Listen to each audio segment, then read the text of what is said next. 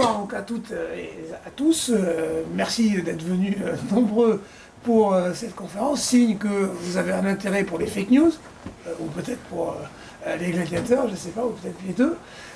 donc je vais en quelques mots présenter le cadre dans lequel Brice Lopez est invité à intervenir.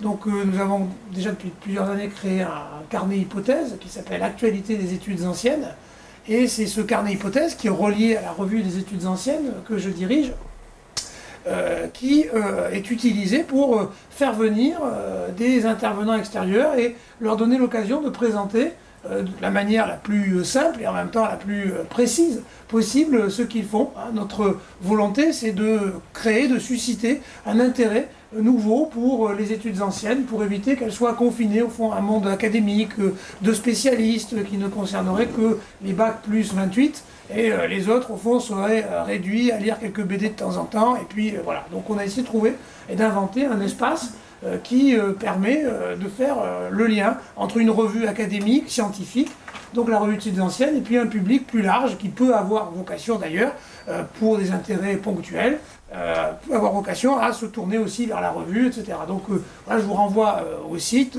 Il y a beaucoup de contenu, beaucoup de comptes rendus de bandes dessinées, de romans, de livres, disons, grand public, entre guillemets. Hein. donc toute personne qui est intéressée dans les domaines relatifs à l'Antiquité peut trouver des choses qui l'intéresseront nécessairement. Et donc, il y a une rubrique consacrée à des conférences donc, sur des thèmes assez larges, sur la République, sur la tragédie athénienne, enfin voilà, je, vous y renvoie, ou sur la restitution de la peinture ancienne.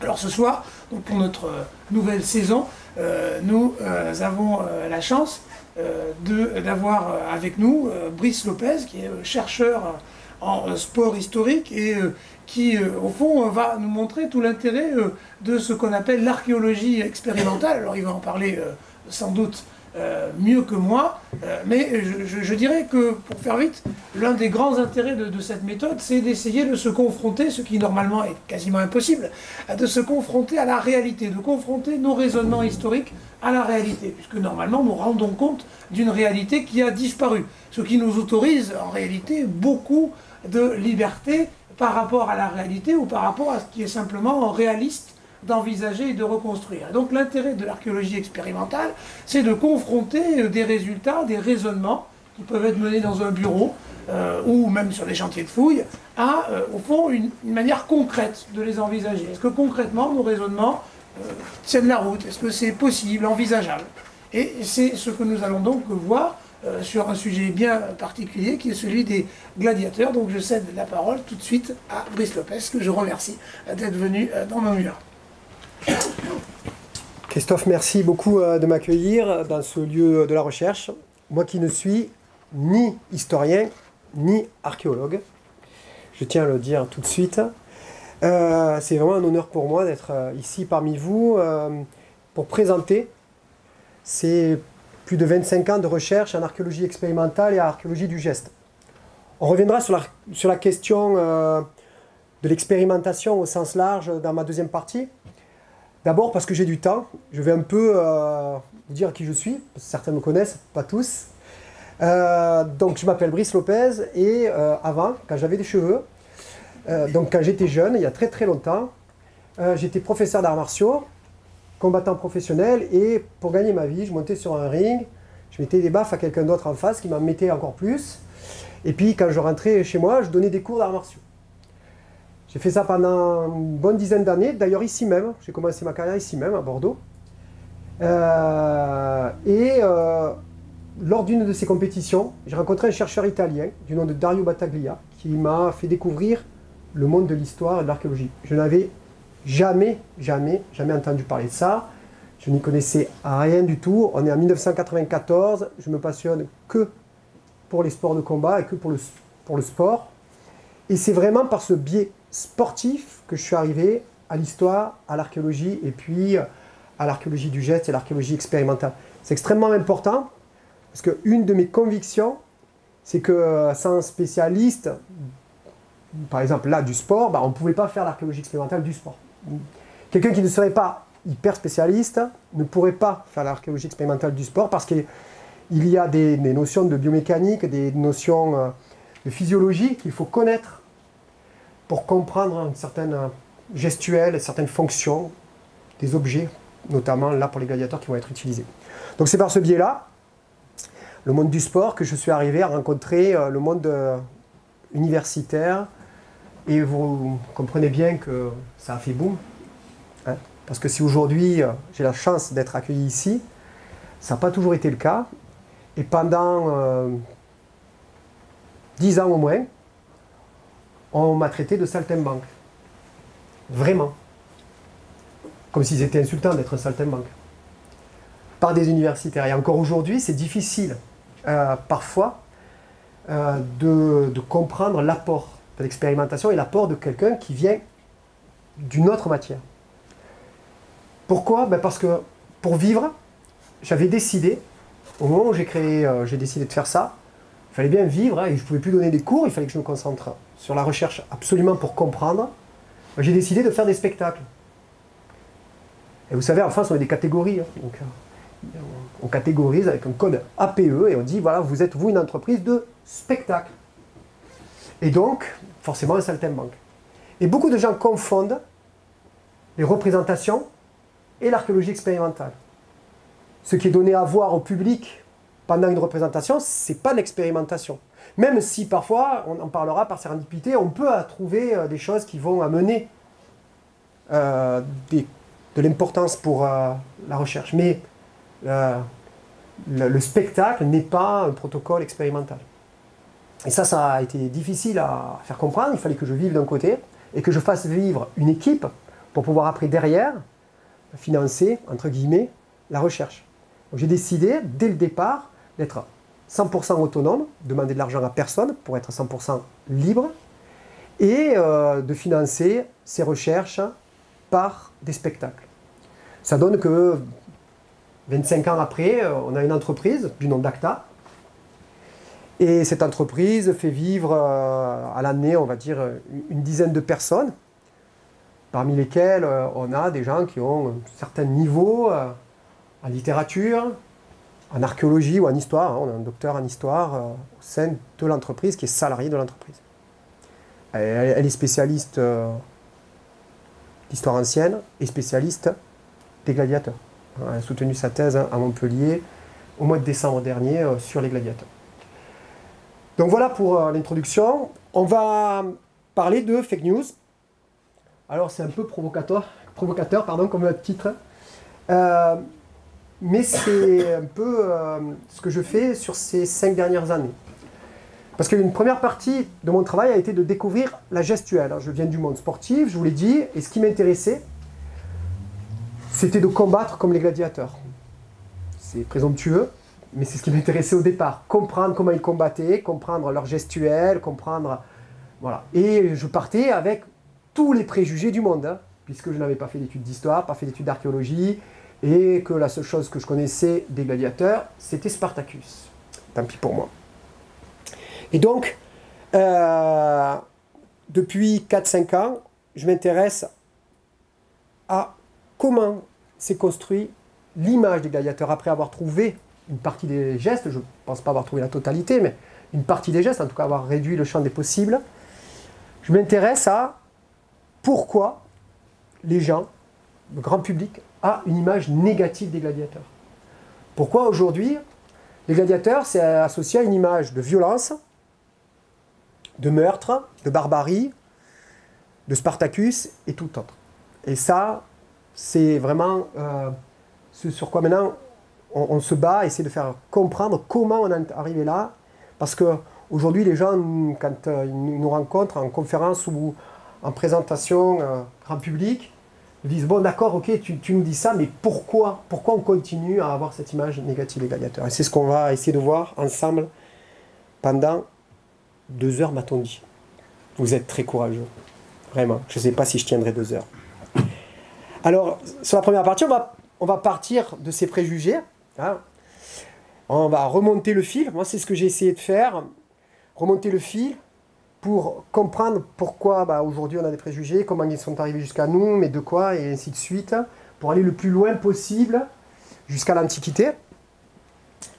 Puis après, euh, je vous l'ai dit, on parlera d'expérimentation, vraiment, on se posera la question de l'archéologie expérimentale, de l'archéologie du geste. Et puis, euh, après, euh, je vous parlerai un petit peu de, de, nos découvertes, de cet ensemble technique qu'on a mis en place. Alors, ça ira très vite, hein, parce qu'il y a très peu de techniques.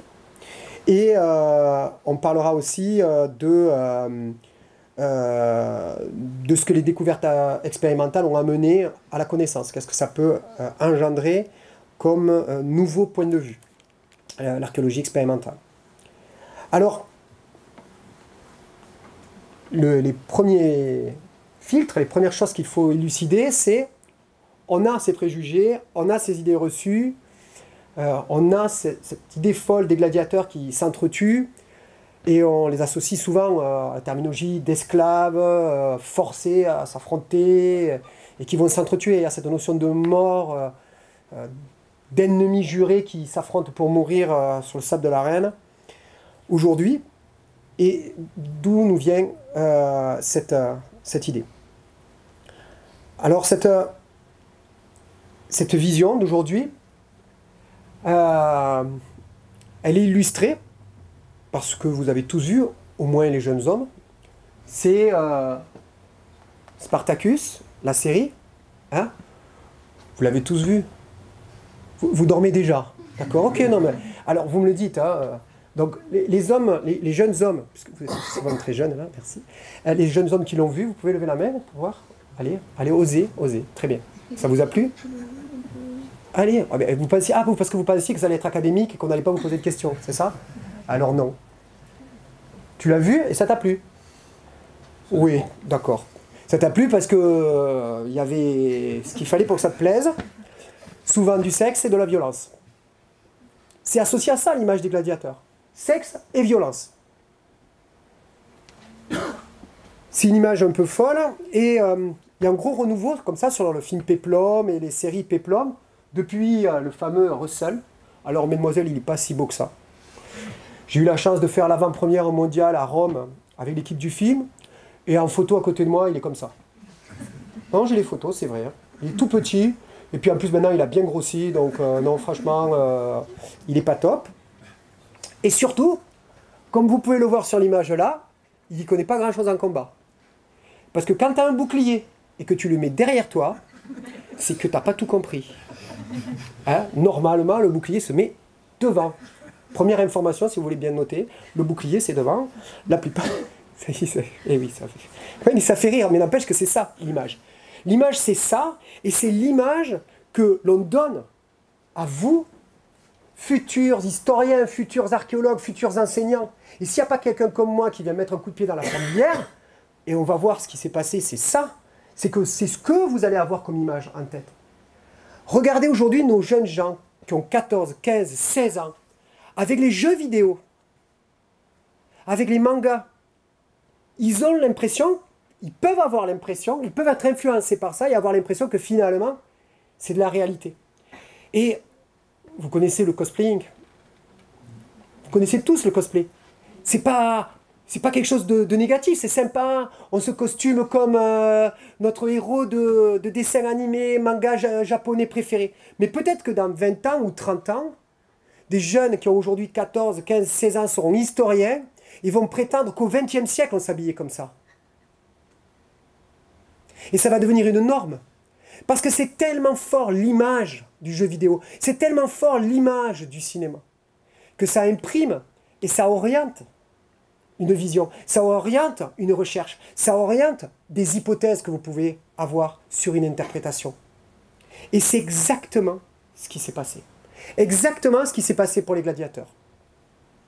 Vous connaissez tous Jean-Léon Jérôme, peintre pompier de la fin du 19e, avec son fameux tableau Poliché.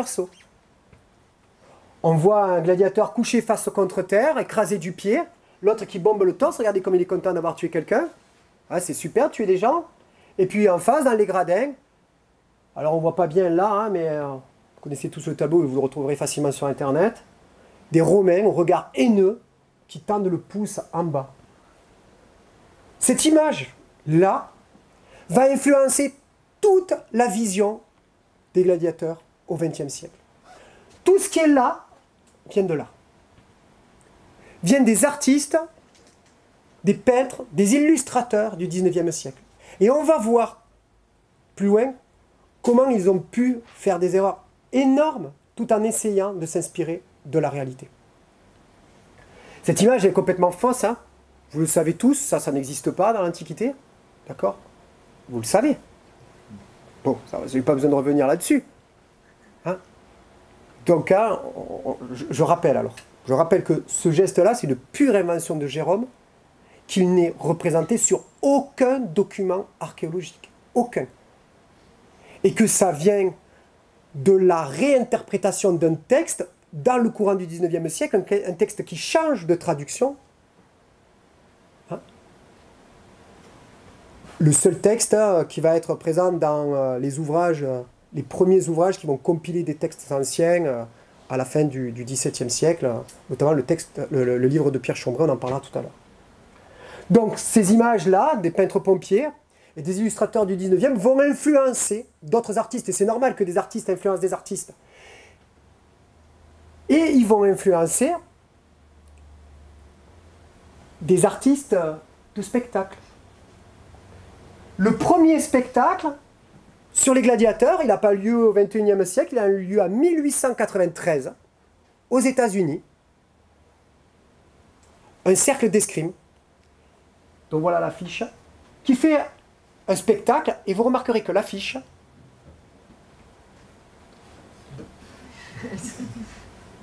Je ne fais pas l'histoire euh, de l'art, mais je pense que c'est à peu près pareil. Et quand on prend le programme, ils vont jusqu'à commettre les erreurs qu'on trouve dans cette période-là sur les noms des panoplies de gladiateurs. Parce qu'ils ne cherchent pas à reproduire la réalité, ils cherchent à faire de la pub pour leur cercle d'escrime en faisant quelque chose de sympa, pour eux, un spectacle où on va assassiner des gens. Hein. C'est ce qu'on va faire. Cette vision-là, forcément, on est en 1893. Forcément, il y a des jeunes passionnés qui, comme aujourd'hui, ceux qui regardent les jeux vidéo, ben là, on en avait qui, des, jeunes qui regardaient les peintres pompiers, qui regardaient le début du cinéma, 1902, Covadis, qui va reprendre ça, hein. exactement, le premier Covadis de 1902, il reprend ça exactement comme image. On a cette image en noir et blanc dans le Covadis de 1902. Et on va avoir ça qui est aux États-Unis. On, est vraiment dans, on diffuse une image, on diffuse quelque chose qu'on croit juste, et forcément, ben, les jeunes qui ont 14, 15, 16 ans, 17 ans, là, cette époque-là, et qui vont faire des études d'histoire, d'archéologie, et on sait que l'archéologie, euh, à cette époque-là, ce n'était pas encore l'archéologie d'aujourd'hui, ben, vont être influencés dans leurs recherches, dans leurs hypothèses, dans leur façon de voir le sujet.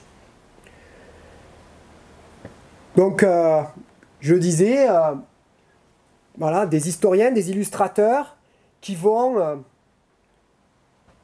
malgré toute leur passion, malgré toute leur sincérité, commettre d'énormes erreurs en influençant d'autres artistes et en influençant sûrement des, euh, jeunes historiens, des jeunes latinistes.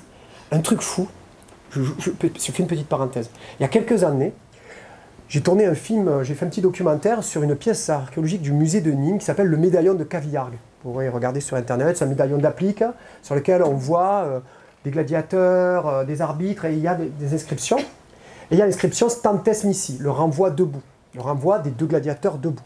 Et on voit l'arbitre qui fait ce geste-là, avec euh, la baguette, tout. Enfin, je veux dire, c'est quelque chose d'assez euh, limpide. On fait ce documentaire pour l'université de, Nîmes et le musée de Nîmes.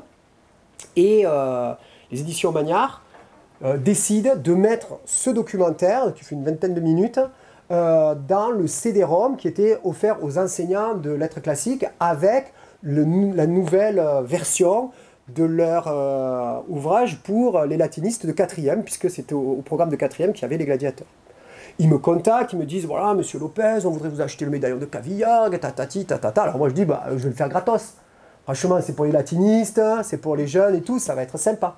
Et je leur demande juste une seule chose pouvoir avoir accès à la double page sur les gladiateurs et pouvoir mettre mon grain de sel et dire ce que je trouve qui n'est pas très bien. La double page sort, il m'envoie un, exemplaire pour, pour me dire, et qu'est-ce que je vois? La vie, la mort, la vie, la mort. Alors je prends mon petit téléphone et je leur fais, non mais là c'est pas possible. Et je leur envoie tous les documents archéologiques, alors notamment hein, euh, la mosaïque de Madrid, où on voit très clairement le geste de la mort avec une inscription où euh, on voit les deux gladiateurs, un Wikit et l'autre avec le, le, signe de, le signe de la mort. Il n'y a, pas de doute, on, sait que c'est ça. Et puis tout un tas de, choses sur, sur ce signe. Alors on discute, on discute, on discute, et au bout d'un moment, ils me disent Non, mais en fait, euh, monsieur Lopez, on ne changera pas parce que notre latiniste, elle a toujours traduit euh, le texte de Juvenal comme ça, alors elle ne changera pas. Pour elle, pour Lucie Verso, c'est le pouce renversé, c'est pas le pouce en direction de. Alors que je lui ai donné tout un tas d'informations sur, sur cette traduction qui a changé au 19e siècle. On, le sait, on n'a pas de doute là-dessus. Vous voyez, comme parfois les idées reçues, elles ont la, la, vie dure, même quand on a les documents euh, pour prouver le contraire. Pourquoi? Parce que les gens qui l'ont fait, qui ont amené ça, comme Auguste Racinet, sont des gens qui étaient pleins de passion. Euh, euh, Jérôme, on dit que c'est un peintre du réel. Hein. Racinet, c'est l'illustrateur, hein, vous connaissez sûrement l'illustrateur euh, super célèbre. Cette image des gladiateurs, là, de Racinet, elle a été dans les livres de latin pendant des années. Vraiment, moi, dans mon livre de latin, et je ne vous parle pas d'hier, hein, c'était avant, avant, avant-hier quand j'étais en latin, moi. Il y avait ça comme image.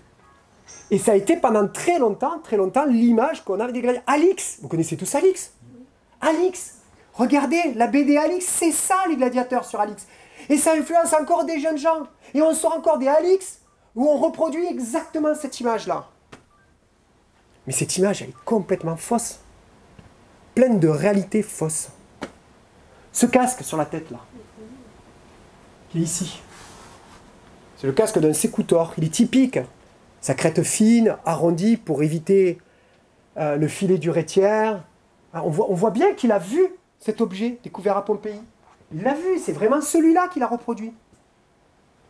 Sauf que il associe, par exemple, ici, ces deux grands protège tibiales, les Ocreae, qui sont là, qui ont aussi été euh, découvertes à Pompéi. Sauf que ça ne va pas du tout sur la même panoplie. Il construit son armure à lui. Il prend le casque du Sécoutor. Ici, la statuette d'arbre, casque de Sécoutor. Hein, on voit que c'est le même. Hein. Crête fine, bord, etc. Et là, il n'y a pas de grand protège tibia. Il n'y en a qu'un tout petit, sous le genou. Et chaque fois, sur tous les documents archéologiques, quand vous verrez deux grands protège tibia, toujours, vous verrez un petit bouclier en haut. Ou rond, ou carré. Une parma ronde, comme là, pour le plomac, ou une parma carrée pour le trace toujours à 100%. Pourquoi lui il décide d'avoir deux grands protège tibia et puis le casque du sécoutor?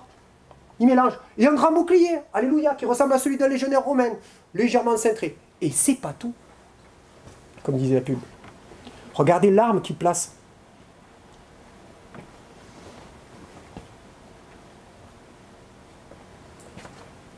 La falcata ibérique. C'est même pas la même époque. Bah, il l'a vu au Louvre, alors il est content, hein, il la met, allez hop, flop, flop, je te mets une arme. Comme je sais pas ce qu'il a, hein, on y va. Donc il met le casque d'une armure, le bouclier d'un légionnaire, une épée celtibère, et puis les protège tibias d'un autre gladiateur. Et c'est Dieu réel. C'est l'histoire du costume. L'histoire du costume. Et on va prendre ça comme référence. Et je vous ai pris qu'un exemple, je ne vous mets pas celui qui est à côté, et Alix qui l'a en fait derrière, etc. C'est ça. La première, les les, premières fake news pour les gladiateurs. C'est cette interprétation bienveillante sûrement, et ils voulaient représenter le réel, mais complètement fausse parce qu'on ne s'intéresse pas réellement au sujet, on reproduit des choses que l'on voit sans les comprendre. Imaginez aujourd'hui un illustrateur qui irait sur des stades, qui verrait un joueur de rugby. Vous avez du rugby ici? Ou pas trop si? Un peu Ah d'accord. je taquine, hein d'accord, ok un ballon ovale. Paf, il dessine un ballon ovale. Et puis à côté, il voit sur un terrain des gars qui jouent au croquet. Hop, et puis il met une crosse. Et puis euh, à côté, euh, il voit des gens qui sortent de la piscine avec un bonnet, puis un bonnet sur la tête de water polo. Il, mélange comme ça plusieurs sports. Réel. Mais c'est exactement ce qu'il fait. C'est exactement ce que fait Racinet. Et dans 2000 ans, on dira que peut-être euh, les, joueurs de rugby, ils avaient un bonnet de, de, water, polo, une, crosse et jouait avec un, ballon ovale dans des cages carrées, un rectangle. C'est exactement le problème.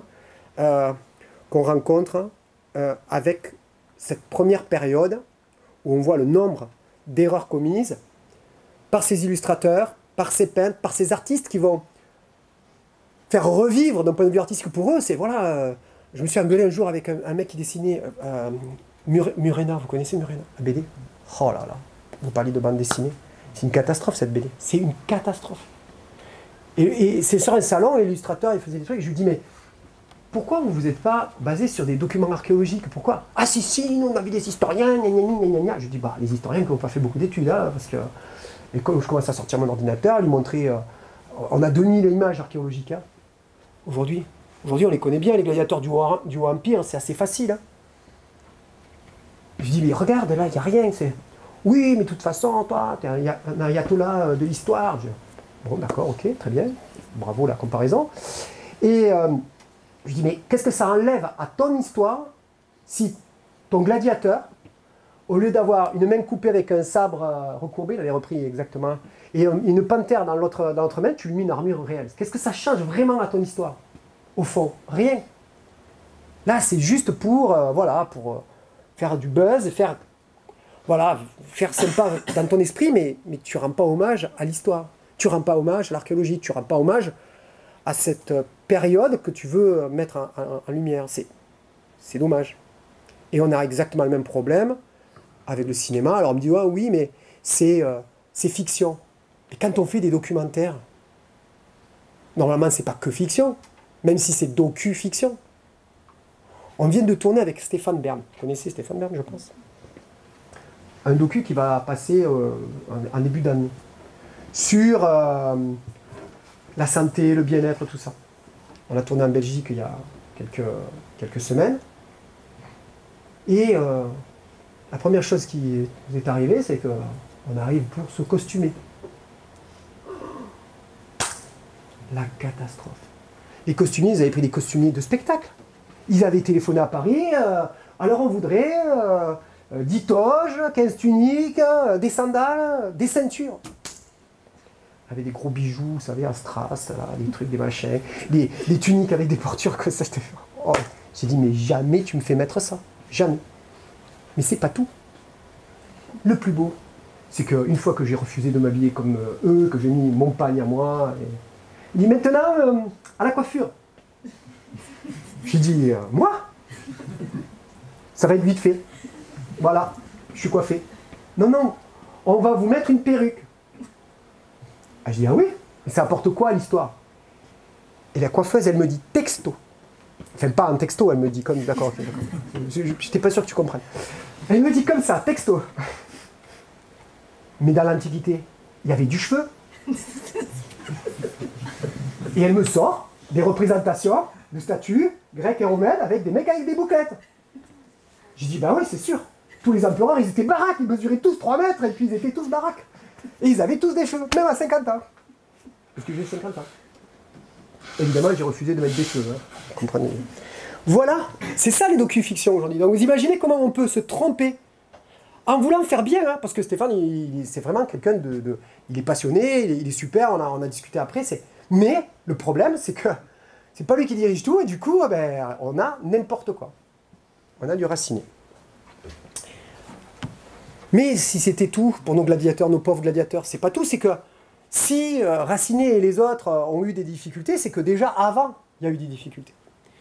Il y a des difficultés parce que entre l'Antiquité et, le 18-19e siècle, on a eu encore pas mal de temps, temps dans lequel on a eu pas mal euh, d'erreurs, beaucoup de problèmes. On connaît tous la Renaissance, et euh, l'intérêt qu'il peut y avoir euh, à la Renaissance pour le fait ancien et euh, ce qu'on essaye de créer comme lien avec, avec l'Antiquité. On a là aussi énormément d'artistes qui vont illustrer l'Antiquité. Vous remarquerez qu'il n'y a rien sur les gladiateurs. Rien. C'est une période qui a oublié la gladiature. Et en plus, c'est une période où on ne s'embarrasse pas vraiment, vraiment euh, de rigueur scientifique. Hein. On a des gens comme euh, Léon Battista Albert, qui est à la fois romancier, bon, antiquaire, architecte, proto-archéologue, et puis, euh, bon, hein, il peut faire un peu dans tous les sens qu'il veut. Et donc on va avoir vraiment une restitution de l'Antiquité, à cette époque-là, qui va être extrêmement orientée, et qui en plus hérite de presque 1000 ans de réemploi et d'abstinence en matière de gladiateurs. Je vous ai mis une illustration là de mon amphithéâtre, parce que j'ai un amphithéâtre à moi. J'ai oublié de vous dire. Je viens d'Arles. Ok, d'accord. moi, chaque fois que je dis Arles, ça me fait quelque chose. À vous, rien, mais bon, c'est pas grave, c'est parce que vous n'êtes jamais venu chez moi, c'est pour ça. Donc, l'amphithéâtre d'Arles, c'est un peu mon gymnase. Je travaille très, très, très régulièrement avec mes équipes, et ça, c'est une illustration de l'amphithéâtre d'Arles. Vous le savez sûrement, les amphithéâtres vont être réemployés. Comme carrière, hein, on réutilise la pierre comme carrière, ou réemployés comme forteresse. Quand vous arrivez au 15e, 16e siècle, et que ça fait mille ans que le lieu est utilisé comme forteresse, et qu'on ne parle plus du tout de gladiateurs, mais qu'est-ce que vous pensez que les gens ont comme idée sur les gladiateurs là, au 15e, 16e siècle? Ils n'ont aucune idée. D'ailleurs, regardez, hein, on n'a aucune information sur les jeux, très très très très très très peu. C'est très léger ce qu'on a sur l'ensemble des jeux et sur les gladiateurs, rien de cette époque-là, rien. Donc on va avoir du 5e, 6e siècle à aujourd'hui une longue période où, d'un point de vue archéologique, on n'a pas grand-chose, on a un réemploi, on n'a personne qui s'intéresse réellement au sujet des gladiateurs, Beaucoup des amphithéâtres construits sont utilisés comme carrière, quelques-uns, Arles, Nîmes par exemple, comme, euh, euh, forteresse. D'ailleurs, petite parenthèse, c'est pas que pour les amphithéâtres. Hein. Le théâtre antique euh, d'Orange par exemple, hein, c'était une forteresse aussi. Hein. Et c'est Louis XIV, je crois, qui disait c'est la plus belle, la plus grande des murailles de mon royaume. T'imagines bien la, pensée des autres. Si lui pense ça, le peuple, lui, encore moins. il en sait encore moins.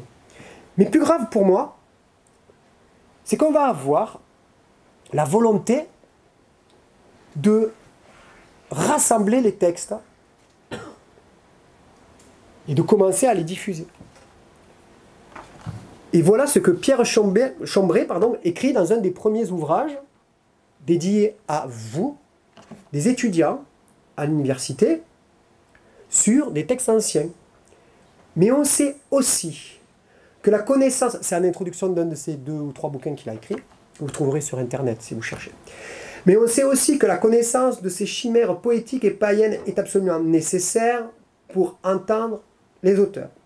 Dans cette vue, on a ici rassemblé par ordre alphabétique ce qu'il y a d'essentiel à savoir sur cette matière, afin d'épargner aux jeunes gens la peine d'aller puiser dans des sources souvent empoisonnées ou après une étude dangereuse et dégoûtante, il n'y a rien à gagner. Pour la raison, il y a tout à perdre pour le cœur.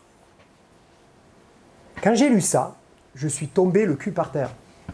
On peut le dire, on est entre nous. Vraiment. Et on a là, vraiment écrit, noir sur blanc, un des plus gros problèmes avec l'Antiquité, et encore plus avec les gladiateurs, c'est le filtre religieux. Chambray écrit pour les jeunes chrétiens. Hein, en introduction de son, texte, hein, le titre c'est euh, euh, pour les jeunes chrétiens. C'est vraiment une vision religieuse. Pour lui, les textes anciens, c'est dangereux, il vous le dit, il écrit noir sur blanc. Une étude dangereuse pour l'esprit, quoi. Euh, attention, vous allez apprendre des choses si vous lisez les textes anciens. Sauf ceux que j'ai décidé de vous faire étudier. Donc on a là l'évidence d'un filtre supplémentaire, outre celui des artistes qui s'intéressent au sujet de façon superficielle, on a le filtre de la religion. Et ce filtre-là, il est très important. Là, on est à la fin du XVIIe siècle avec Chambray, mais en réalité, ce filtre-là, il arrive dès l'Antiquité. Quand on lit Tertullien, et qu'on le met en référence pour décrire ce qu'était un combat de gladiateurs, excusez-moi. Alors peut-être c'est parce que comme j'ai pas fait d'études d'histoire et d'archéologie, je ne suis pas très futé, mais c'est un auteur converti, dont l'objectif, on le sait, c'est de convertir d'autres personnes. Et on sait aussi que les chrétiens n'ont pas le droit d'aller au jeu et que c'est pas bien, on n'est pas un bon chrétien si on va au jeu.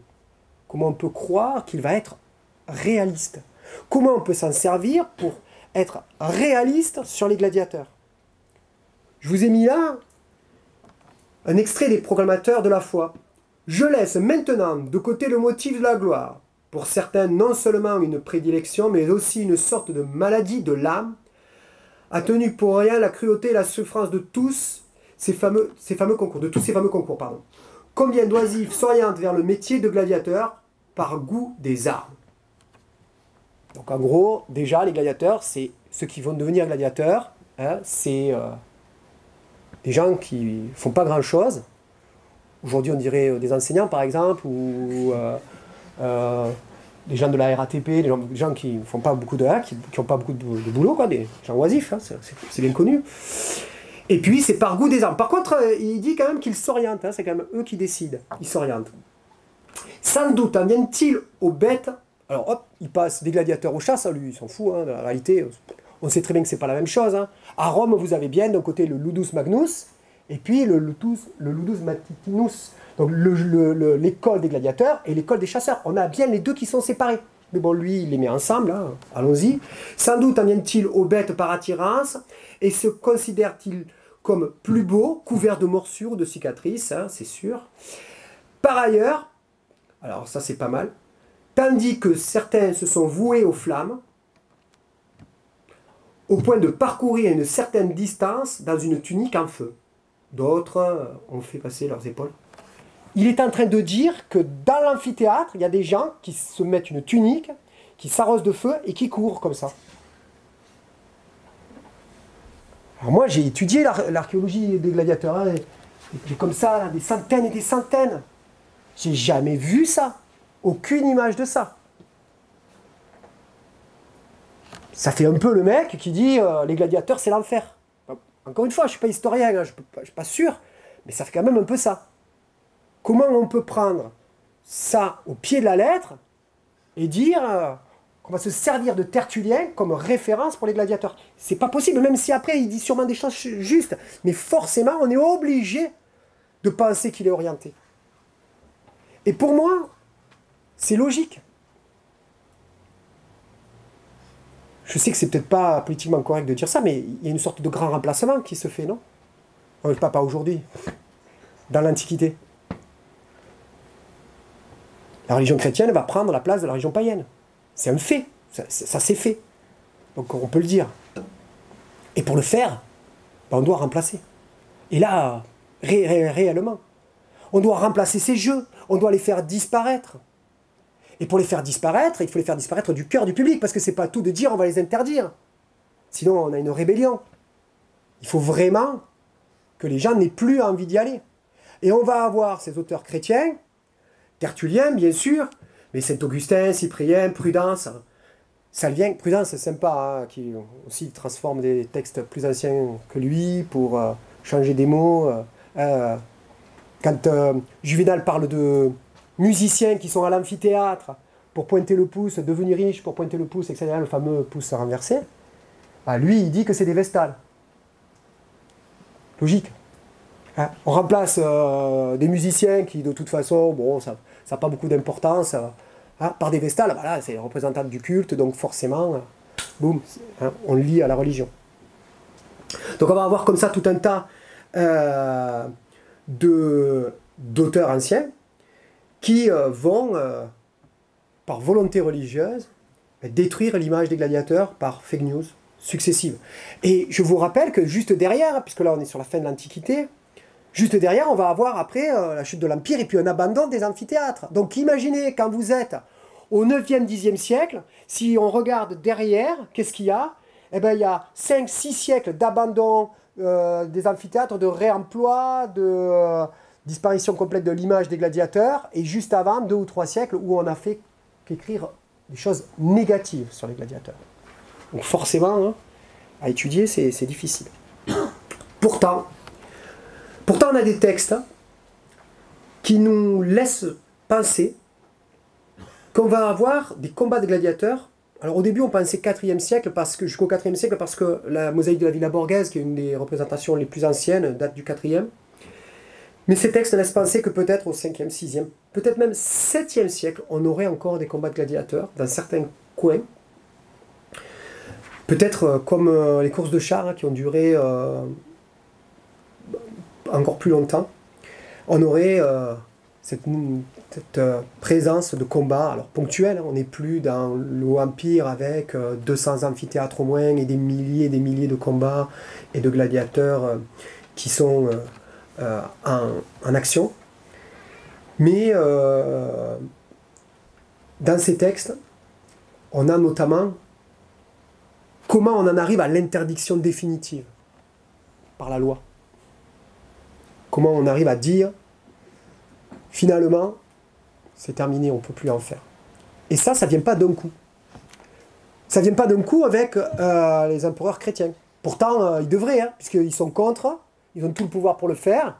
Boum, on interdit. Mais comme je dit tout à l'heure, bah, le public, ceux qui viennent assister au combat de gladiateurs, ils en ont envie. Donc euh, si on le fait comme ça d'un seul coup, imaginez aujourd'hui quelqu'un qui voudrait interdire le foot. Ah non, pas le foot. La corrida. Je viens d'Arles. Je répète au cas où vous ayez oublié. Essayez de venir chez nous et d'interdire la corrida. Juste au niveau local, hein. je ne parle pas de la France complète, hein. je parle au niveau local essayez d'interdire la corrida. Ou vous tenez pas votre voiture, votre appartement, votre vie, vos enfants, votre femme. Ou alors, euh, non mais ils sont prêts à tout. Le, dernier exemple un peu fou, hein, j'espère qu'il n'y a pas d'afficio. ça va. Ok, d'accord, ça va. Le pauvre, il y a le dernier grand éleveur de taureaux euh, qui est décédé il y a quelques mois. Ils ont privatisé l'amphithéâtre. Deux jours pour faire passer son cercueil dedans. Monument reconnu patrimoine mondial de l'humanité. Hein. ok. Mais si vous avez des réactions, vous pouvez. Hein. je vous ai dit que c'était interactif. Hein. mais bon, ça va. Lui dort et les autres aussi, c'est bon. Donc, essayez d'interdire la corrida et vous verrez ce que vous aurez. L'empereur, il a même chrétien, et même s'il est contre, il ne peut pas interdire complètement les gladiateurs. Alors qu'est-ce qu'il fait? Eh bien, il interdit par partie. Il dit bon, les combats de gladiateurs, euh, c'est pas bien, c'est des barbares, ils s'entretuent, euh, tout ça, c'est pas bien.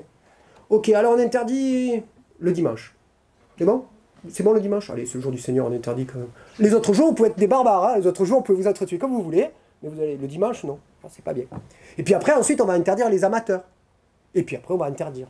Hein. On va mettre à peu près 50, euh, 60 ans, peut-être 80 ans pour interdire complètement les combats de gladiateurs. C'est un truc de fou. Si c'était vraiment des barbares sanguinaires qui s'entretuent, qui s'égorgent, des gars comme sur le tableau de Jérôme, fiers là d'avoir tué quelqu'un, ah, je suis content, j'ai mis un mec à mort. Si c'était vraiment ça, vous croyez que les Romains ils sont si différents de vous? Vous croyez ça, leur fait plaisir de voir des gens égorgés, des tripes comme ça, oh, tous les matins ils, voulaient voir des tripes Je ne pense pas. Donc on a vraiment, dès l'Antiquité, la volonté, d'abord religieuse, puis après le désintérêt par les faits, parce qu'on n'a plus les moyens, parce qu'on a d'autres préoccupations, on va réutiliser les amphithéâtres, de faire disparaître, on va avoir cette volonté dès la fin de l'Antiquité, de faire disparaître les combats de gladiateurs, puis après euh, les lieux de spectacle, et puis l'image que les gladiateurs représentaient pour le peuple, et puis... Et quand on va vraiment à nouveau s'intéresser à ça, on l'a vu, on le fait par un biais un biais artistique. Hein. Les objets sont beaux. Ici, une copie de ceux qui ont été découverts à, Pompéi. Les objets sont beaux, alors on les dessine, on les reproduit, sans les comprendre. Parce que pour un artiste, un dessinateur, c'est un objet muet. Il ne sait pas pourquoi il y a cette crête, il ne sait pas pourquoi il y a cette colorette, il ne sait pas pourquoi, euh, sous le Empire, alors que c'est soi-disant des gens qu'on doit, qu'on doit entretuer, on met une face alors qu'avant il n'y avait pas de face. Et tout ça, ça peut être compris par l'expérimentation. Tout ça, l'expérimentation va nous aider à comprendre. Alors, petite, euh, petite parenthèse encore une fois, l'expérimentation n'est qu'un outil. Il y a eu un gros, gros, gros, gros, énorme débat sur Facebook. Vous n'avez pas Facebook, hein, vous êtes déjà intelligent. Je compte sur vous. Il y a eu un énorme débat sur Facebook il y a quelques jours, parce que peut-être vous l'avez vu, il y a un documentaire qui est sorti sur les gladiateurs il n'y a pas longtemps sur France 4. Vous l'avez pas vu? Allez, qui l'a vu? Un, deux. Oh, c'est trop cool. Il n'y en a que deux qui l'ont vu. Et suite à ce documentaire, il y a eu une, grosse discussion. Parce qu'autant le discours des historiens était bien, un peu moderne, euh, c'était pas mal, autant les images qui étaient montrées avec des combats, c'était hyper naze. Et euh, comme à mon habitude, je l'ai dit, hein, parce que vous aurez compris que j'ai pas ma langue dans ma poche. Et ça n'a pas plu à tout le monde. Et on a eu un énorme débat. Et je m'aperçois qu'encore, même chez les professionnels, même chez les, ceux qui sont censés savoir, il y a encore une, énorme confusion sur ce qu'est l'archéologie expérimentale et l'archéologie du geste. D'abord, il y a deux méthodes, au moins deux méthodes d'expérimentation, archéologie expérimentale et archéologie du geste, je vais en parler. Mais surtout, c'est un outil avant tout, l'expérimentation. Un outil pour, comme euh, Christophe vous le disait tout à l'heure, travailler sur les hypothèses. On a des hypothèses, et cet outil d'expérimentation va nous permettre d'éliminer petit à petit des possibilités. L'expérimentation ne dit pas ce qui peut être fait, mais dit ce qui est sûrement pas possible. Parce que votre corps n'a pas changé en 2000 ans. Et le bras, vous le pliez dans ce sens-là, et les Romains aussi. Et dans l'autre sens, eh ben, pas possible. Et ça, par expérimentation, je peux vous le montrer si vous voulez. Je prends n'importe quel votre bras de, à vous et je le plie dans le mauvais sens et vous allez voir, hein, ça fait mal. Et ça, c'était pareil il y a 2000 ans. Et si l'objet ou le geste technique va dans le mauvais sens, dans le sens où ça fait mal, ben ça se verra aujourd'hui comme il y a 2000 ans. Parce que ça ne dépend pas d'un contexte historique, ça ne dépend pas d'un contexte social. Ça dépend de quelque chose qui est vieux de milliers et milliers d'années votre corps de biomécanique. Donc on va réduire le champ des possibles avec l'expérimentation. Et après, euh, il y a aussi une part euh, hein, de flou, euh, d'hypothèse, d'interprétation. Il faut distinguer archéologie expérimentale et archéologie du geste. Ici, je vous ai fait un petit schéma où, euh, pour moi, je décris euh, les trois points de vue, les trois axes. Allô, maman, je suis en conférence. Euh, tu peux me rappeler après, s'il te plaît? Merci, maman. Trop sympa. Les trois axes par lesquels on peut voir cet objet. Oh, je dépasse du cadre, pardon. Je n'ai pas, bougé, monsieur. Vous le voyez tous, hein, d'accord vous pouvez le voir dans cet axe, vous là, qui êtes là. Vous qui êtes ici, vous le voyez par cet axe-là. Et vous, vous voyez. Si on vous demandait de dessiner que votre axe, vous dessineriez trois casques. On est d'accord? Ces trois points de vue sont l'archéologie du geste, l'archéologie expérimentale et ce que j'appelle l'expérience des situations décrites. En gros, euh, l'archéologie expérimentale, c'est euh, les l'expérimentation des éléments matériels découverts, ce que euh, des cas ateliers appellent dans leur, euh, dans leur ouvrage sur le sport euh, les, objets utilisés. L'archéologie du geste, c'est le travail sur l'iconographie, et vous remarquerez que le cercle d'archéologie du geste est plus gros, parce qu'il y a plus d'objets iconographiques, plus d'images que d'objets utilisés par les gladiateurs. Et puis, euh, l'expérience de situation décrite, parce que les textes donnent des informations, décrivent certaines situations, et on peut parfois les utiliser dans le cadre de l'expérimentation. La zone de convergence des trois, ici, est toute petite. On a très peu de choses. Mais là, on peut, on peut rapprocher facilement votre point de vue, le vôtre et le vôtre, et avoir une image plus réaliste de cet objet. Parce qu'on aura vu les trois points de vue. D'accord? Et surtout avec euh, un de vos axes, celui de l'archéologie du geste, on aura pu l'associer au reste de la panoplie, ce que n'a pas fait Racinet, et même à votre adversaire en face. Parce que l'iconographie met en présence la panoplie, l'armatura, et puis celle de l'adversaire. Donc, l'archéologie expérimentale se fait exclusivement avec un objet archéologique. Il faut avoir un objet archéologique pour faire de l'archéologie expérimentale. Un objet utilisé, du matériel utilisé. L'archéologie du geste se fait à partir de l'iconographie. C'est de la biomécanique, on va en parler après, et puis euh, les textes. Pour ce qui est de l'archéologie expérimentale, je vous ai amené un casque pour vous montrer, mais surtout aussi, je vous ai amené une arme. Cette arme, c'est la copie de celle qui a été découverte à Pompéi. Mademoiselle, vous, vous appelez ça comment Très bien. Jeune homme, vous appelez ça comment Vous auriez dit la même chose Monsieur Je prends quelqu'un de notre âge. Hein. Aussi. tout le monde l'appelle une dague. Un poignard. Il n'y a personne qui a dit une épée. Ok. Trop petit. Trop petit pour que ça s'appelle une épée. Même quand je le fais avec des gamins de 13 ans, ils disent comme vous.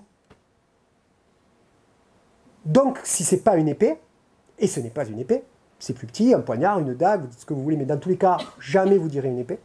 Ça ne s'utilise pas comme une épée. Et pourtant, dans le fameux documentaire que vous êtes que deux à voir, n'allez pas le rechercher après sur Internet s'il vous plaît. Jure, c'est pas vrai. Les combattants, ils font tous comme ça. Comme s'ils avaient une épée médiévale à une main du 12e ou du 13e siècle, ou une épée gauloise qui fait un mètre de long, hein, puisque les épées gauloises, euh, au 1er siècle avant, font jusqu'à un mètre de long. Non, ils ont une arme qui fait en moyenne 33 cm, parce que toutes celles qui ont été découvertes, elles font en moyenne 33 cm, et ils l'utilisent comme une arme de 1 mètre. Il y a comme une confusion, il y a comme un problème. Les gladiateurs, ils ont de toutes petites armes. C'est pas des super guerriers. Ils ont des tout petits objets et une partie de notre travail a été de comprendre par expérimentation comment ils utilisaient ça. Et finalement, pourquoi ils avaient ces petites armes? Quelle était la différence entre un coup porté par cette arme-là et par une grande? Et quel coup différent? Parce que les coups identiques, les grands coups de taille, euh, ça, bon, ok. Mais quel coup différent on pouvait faire? Donc on a expérimenté l'objet, et puis ensuite, grâce à l'archéologie du geste, on, a, on est allé plus loin, on a découvert des choses sur ce fonctionnement, vous allez voir un peu plus loin. Autre objet intéressant que je vous ai amené, cette arme-là.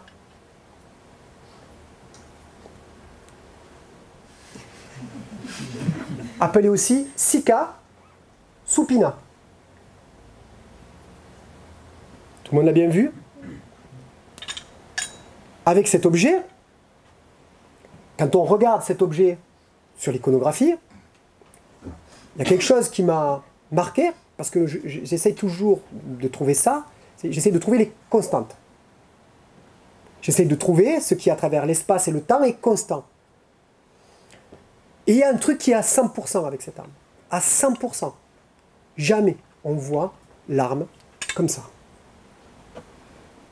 Dans la main d'un combattant, on la voit jamais comme ça. Pourtant, quand tu regardes tes vidéos sur YouTube où tu vois des gladiateurs, tu les vois tous qui tapent comme ça, là. les mecs qui reconstituent, ils tapent tous comme ça. Eh bien oui, parce que ça contourne le bouclier, donc du coup avec la pointe, on va pouvoir frapper derrière dans le dos, et on va pouvoir le tuer les mecs. C'est trop bien. Sauf que les gladiateurs, ils l'utilisent comme ça. Et si je fais comme ça, ben, c'est moi que je tape. Ils sont cons ces gladiateurs. Franchement. Ils n'ont pas compris qu'il fallait l'utiliser comme ça. Pendant 300 ans, ils l'utilisent comme ça, mais les mecs qui reconstituent, ils utilisent comme ça parce que non, mais tu comprends, c'est pas comme ça, c'est pas très pratique, on n'arrive pas à toucher l'autre, alors c'est plus simple comme ça. Voilà ce qu'ils me disent. Mais on s'en fout de ce qui est pratique. On s'en fout de ce que tu penses. Ce qui compte, c'est ce que eux, ils faisaient. C'est comment, en testant, comment en comprenant vraiment l'iconographie, tu vas comprendre pourquoi il tenait comme ça. C'est un des éléments qui prouve de façon formelle que la gladiature, ce n'est pas un sport martial au sens de Mars, dieu de la guerre. Ce n'est pas quelque chose qui sert à tuer l'autre. Parce que si c'était pour tuer l'autre, effectivement, on le tiendrait comme ça. Parce que là, dans le coup, on viendrait taper ici, là, dans les sous-clavières, là, et boum, on irait tout de suite toucher des choses bien, bien, bien, bien dangereuses. Là, ici, ici, et en quelques secondes, il serait mort. Peut-être deux, deux et demi, s'il est courageux. Trois si c'est Russell. Mais eux, ils le tiennent comme ça. Ça montre bien qu'ils ne cherchent pas l'efficacité martiale. Dans, le protocole expérimental, on va combiner ces trois points de vue, et notamment l'archéologie expérimentale et l'archéologie du geste. On ne va pas se contenter, pour la dague ou la sika supina, de faire uniquement l'archéologie expérimentale parce qu'on a trouvé l'objet. On va aussi faire l'archéologie du geste, et c'est en combinant les deux, à la convergence des deux, hein, ici, qu'on va trouver, qu'on va se rapprocher de la réalité. Et qu'on va pouvoir éliminer euh, les choses non probantes. Hein, parce que je rappelle que notre objectif, c'est on part avec un potentiel technique énorme, tout est possible, tout est réalisable, et puis petit à petit, hop, hop, on élimine. On ne peut pas taper comme ça avec la pointe puisqu'ils ne tiennent pas euh, la dague dans le sens, d'accord? Un exemple. On va faire régulièrement la réévaluation de nos tests pour pouvoir mettre en place de nouveaux tests, d'accord? On va utiliser des méthodes diphtériques ou ériques que vous connaissez. On va euh, régulièrement revenir à la source, revenir à la fois sur le document archéologique, sur le document iconographique, mais aussi revenir sur la méthodologie d'étude de cet objet, le test d'étude de cet objet, pour pouvoir euh, être sûr le plus possible de nos résultats. On va volontairement, j'ai fait faire volontairement des tests placebo. Je me suis dit, pour, euh, pour avoir un certain réalisme d'utilisation, il faut que certains des tests que je fais faire à mes combattants, à mes pratiquants, ce soit des tests que je sais complètement faux. Comme ça, euh, je vois s'ils sont influencés par ce qu'ils ont appris avant. Par exemple, on m'a beaucoup reproché d'être un ancien combattant. Je vous l'ai dit tout à l'heure. Pour moi, ça paraît essentiel. Comment on veut étudier le combat si on n'est pas un ancien combattant? Moi, ça m'a été reproché. On me dit Oui, mais c'est normal. T'as fait ci, t'as fait là, tatati, tatata. Donc, du coup, tu fais comme euh, ce que tu sais. Euh, non. Mais J'utilise ce que je sais des arts martiaux, ce que je sais du corps, ce que je sais de la pédagogie aussi des arts martiaux, parce que j'ai enseigné pendant longtemps les arts martiaux, pour comprendre comment ça pouvait fonctionner. Mais j'essaie évidemment de m'extraire au maximum. Et pour ça, notamment, je fais faire à des pratiquants des tests placebo. Et je prends des gens qui sont expérimentés ou non des gens qui sont sportifs, dans mon équipe, tous, mais expérimentés en arts martiaux ou non. Il y, en a qui, au départ, n'étaient pas du tout euh, combattants, pour pouvoir vraiment avoir tous les profils de testeurs. Et parfois, je le disais tout à l'heure, on a des découvertes par sérendipité parce que on fait 2500 ou 3000 combats par an devant du public. Alors, je le redis, ce n'est pas de l'expérimentation quand on combat en public, quand on fait nos spectacles pour vivre, on fait à peu près, je, le redis, 3000. Hein. Euh, le record pour un de mes combattants, c'est 330 en un an. Ça fait pratiquement un par jour pendant, un an. Quelqu'un qui vient, qui vient chez moi travailler, que j'embauche, il perd entre 20 et 30 kilos en un an. Non, véridique. S'il a un surpoids, on a un qui vient d'arriver, là, qui 105, 110 kilos. Il a perdu 30 kilos. En 9 mois. Aujourd'hui, il fait crossfit et tout, il, est super. Et grâce au gladiateur, c'est pas mal. Bref, par sérendipité, on trouve, on trouve des choses. Ils font tellement de combats. Ils ont les équipements des gladiateurs. On a reconstitué tous les équipements qui ont été découverts à Pompéi. Ils ont une base technique, même si elle est un peu fausse, parfois, un peu fausse parce que c'est du spectacle, ils sont obligés un peu de faire, et puis ils n'ont pas des raisons tranchantes, hein, je vous rassure. On n'est pas fou, un petit peu, mais pas trop. Euh, parfois, eh ben, ils sortent des, mouvements qui sortent, il y, a des choses qui arrivent, qui m'interpellent, et on les reprend dans des protocoles et on, et on comprend que c'est juste. Hein. Pour ça, il faut avoir le matériel extrêmement bien reconstitué et que les combattants aient une base sportive, une base martiale qui sache se tenir, qui sache porter un casque qui fait 6, 7, 8, 9 kilos, un bouclier qui fait 5, 6 kilos. Au total, ils ont euh, entre 17 et 20 kilos d'équipement sur le dos. Quelqu'un qui ne serait pas du tout entraîné, ce ne serait pas possible.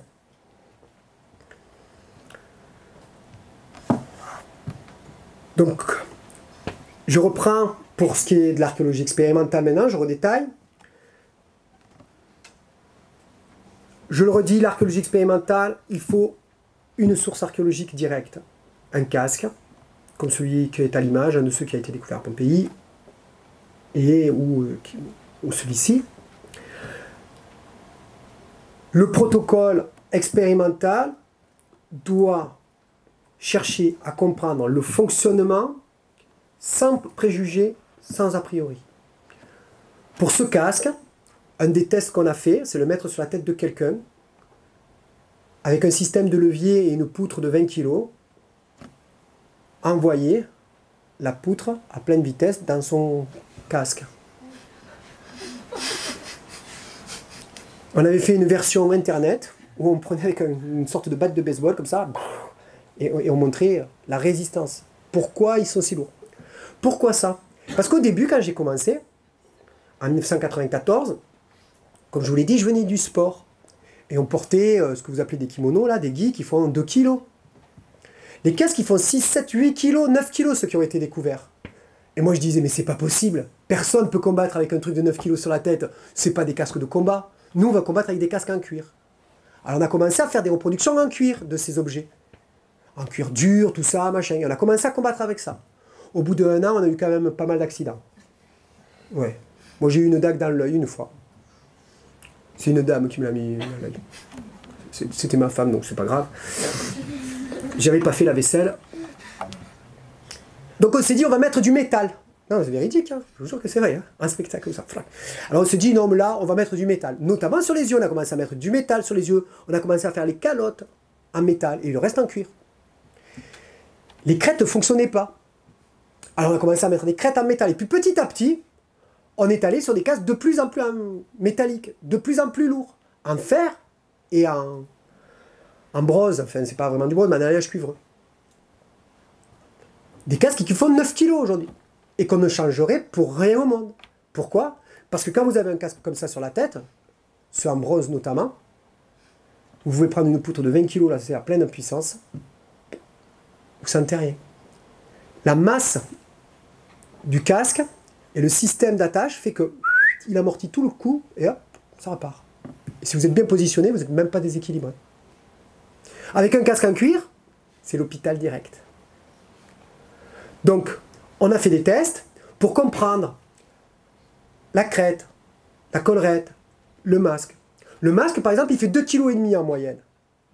Quand, au niveau du début de notre ère, on va commencer à protéger le visage des gladiateurs, dans le même temps, on a les crêtes qui deviennent plus larges, plus épaisses et pleines. C'est-à-dire, elles, n'ont pas de creux ici.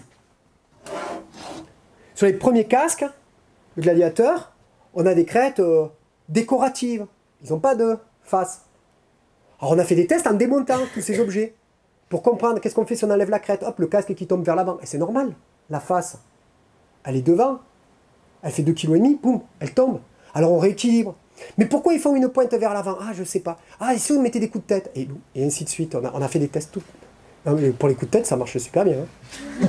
ah non, je te jure, la crête, là, c'est nickel. Par contre, c'est pas un coup de tête comme ça. Hein. Parce que si tu fais un coup de tête comme ça, tu tombes la tête par terre. Hein. L'autre, il fait hop Ça m'est arrivé une fois aussi, ça. Et c'est pas sympa. Donc l'archéologie expérimentale va nous permettre de déterminer le fonctionnement maximum de cet objet. Mais ça ne suffit pas, parce qu'il faut l'associer, je vous l'ai dit, à toute la panoplie. Sinon, on va faire comme Racine et on va se tromper, parce qu'on ne comprendra pas certains éléments. Certains éléments qui seront combinés avec le bouclier, notamment. Quand on travaille à partir de l'iconographie, on va voir à quel point casque et bouclier sont liés dans leur fonctionnement. C'est incroyable, c'est comme une bouteille et son bouchon c'est pas Comme dans Gladiator, oh ben je prends ce casque, oh ben je prends ce bouclier. Oh tiens, cette arme elle est sympa, elle me va bien au teint et puis je peux combattre avec. L'archéologie du geste va s'intéresser, je l'ai dit, plutôt à l'iconographie. Et c'est ce qu'on a en plus grande quantité, l'iconographie. Cette iconographie va nous permettre euh, de tracer des constantes. Et très régulièrement, ce que je fais, c'est à partir de ce type euh, de document, je retrace uniquement l'ossature. Je m'extrais du côté artistique en traçant uniquement la ligne des épaules, des jambes, du coude, et je fais un calque avec uniquement l'ossature, ce qui me permet de comprendre mieux le positionnement. Et après, euh, il va falloir euh, euh, essayer de comprendre, de faire, de faire, de mettre en mouvement ces images arrêtées. C'est vraiment le plus dur. Ne pas se laisser prendre par, par ce qu'on pense. Et sur cette image-là, je vous l'ai mise là exprès, vous voyez un murmillon à l'entraînement il y a quelque chose de très, très, très sympa par rapport à ce que j'ai dit avant. Parce qu'en fait, vous avez l'impression que c'est un peu comme ça, mais c'est tout. Alors, bon, le petit malin chevelu là. Alors, il a la mer tournée. Très bien. Non, euh, en fait, on s'était arrangé avant. Il est venu s'entraîner, tout ça. Il a la mer tournée. Hein il est comme ça. Il a le bouclier ici, il a la jambe gauche en avant, il a la main retournée. Ça vous paraît logique ça? Ah, quand vous voyez les gars, ils combattent, fla, fla, tiens, vas-y, comme dans euh, Spartacus, là, fla, fla, il y a du sang qui. L'autre, il fait comme ça. C'est pas du tout, du tout le coup. La, pointe, elle est vers le bas. Elle n'est pas du tout quand on taille avec une épée, quand on, combat avec une épée, euh, médiévale ou, euh, euh, une épée gauloise par exemple, la pointe va toujours rester pratiquement toujours en l'air pour pouvoir mettre un maximum de vitesse sur la, partie haute. Comme ça, quand on va aller à l'impact au contact, on va avoir le plus d'énergie qui va être transmise à l'adversaire. Là, c'est renversé complètement. C'est pas du tout martial comme coup. Et on a ce geste sur de nombreuses représentations, parfois pas aussi bien euh, détaillé, parce que là, il est à l'entraînement, il est tout seul, donc on le voit très très bien. Mais parfois, ils sont deux, ils combattent et hop, on voit ça. Et ce geste-là, imaginez-le, vous voyez la taille de sa dague, hein. imaginez-le avec une longue épée. Le mec, il veut passer par-dessus le bouclier qui est ici, là, de son adversaire avec une épée qui fait un mètre.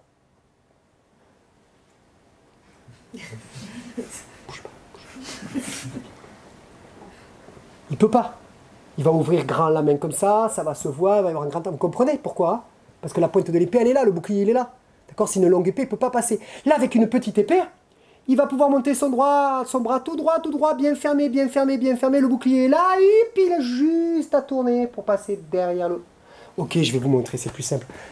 Je suis désolé, je suis obligé de te blesser tout de suite. On avait dit qu'on attendrait un peu, mais c'est pas grave. Vous y tenez pas vraiment à celui-là, l'étudiant. Mets-toi là, mets-toi là. Non, mais euh, il y a la caméra, je veux que tu me en direct. D'accord. C'est nickel. Voilà, là, tu seras bien là.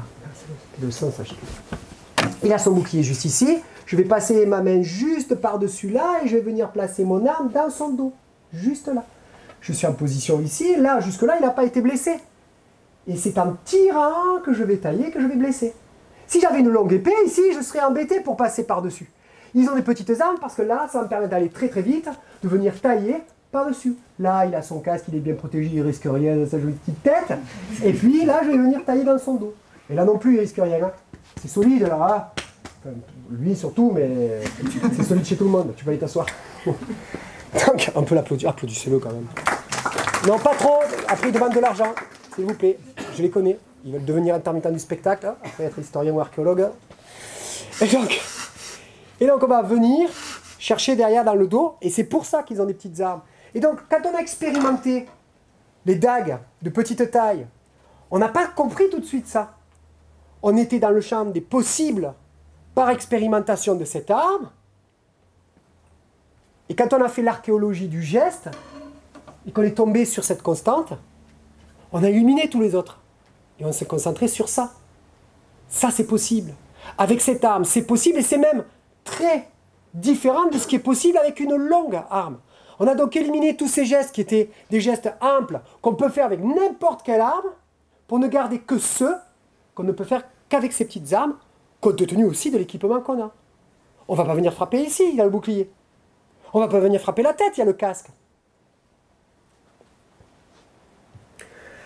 Dans l'archéologie du geste, on va essayer de prendre des images archéologiques qui sont très différentes. Un médaillon d'applique, une peinture murale, une mosaïque, mais qui présentent le même duel. Ici, notre plomac, celui qu'on avait tout à l'heure sur la petite statuette, avec les deux grands protège tibia, hein, vous remarquerez que chaque fois, grand protège tibia, petit bouclier, petit protège tibia, grand bouclier. Merci Raciné.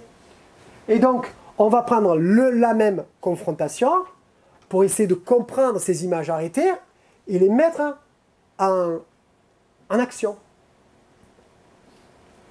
Là, on parle de l'archéologie du geste. Tout à l'heure, on parlait de l'archéologie expérimentale. On parle de l'archéologie du geste. On voit qu'ils sont en garde. Il y en a un qui a une grande lance, une arme d'ast, là. Vous, voyez, vous la voyez là? Ok, super. Les deux grands protège tibia, la ceinture, le casque, le brassard ici qui est marron, le petit bouclier rond. Vous voyez l'arme au-dessus du bouclier ah, La dague. Alors ça, hop, hop, c'est intéressant ça. Il a le bouclier et la dague dans la même main. Vous ne voyez pas l'intérieur, mais vous commencez à l'imaginer. Ça ne peut pas être tenu n'importe comment, parce qu'il a le bouclier la dague. Ah, mais c'est exceptionnel, c'est qu'une fois. Ah non, chaque fois. Chaque fois que le ploumac a la lance dans la main droite et dans la main gauche le bouclier, pouf, avec le bouclier là, sa dague.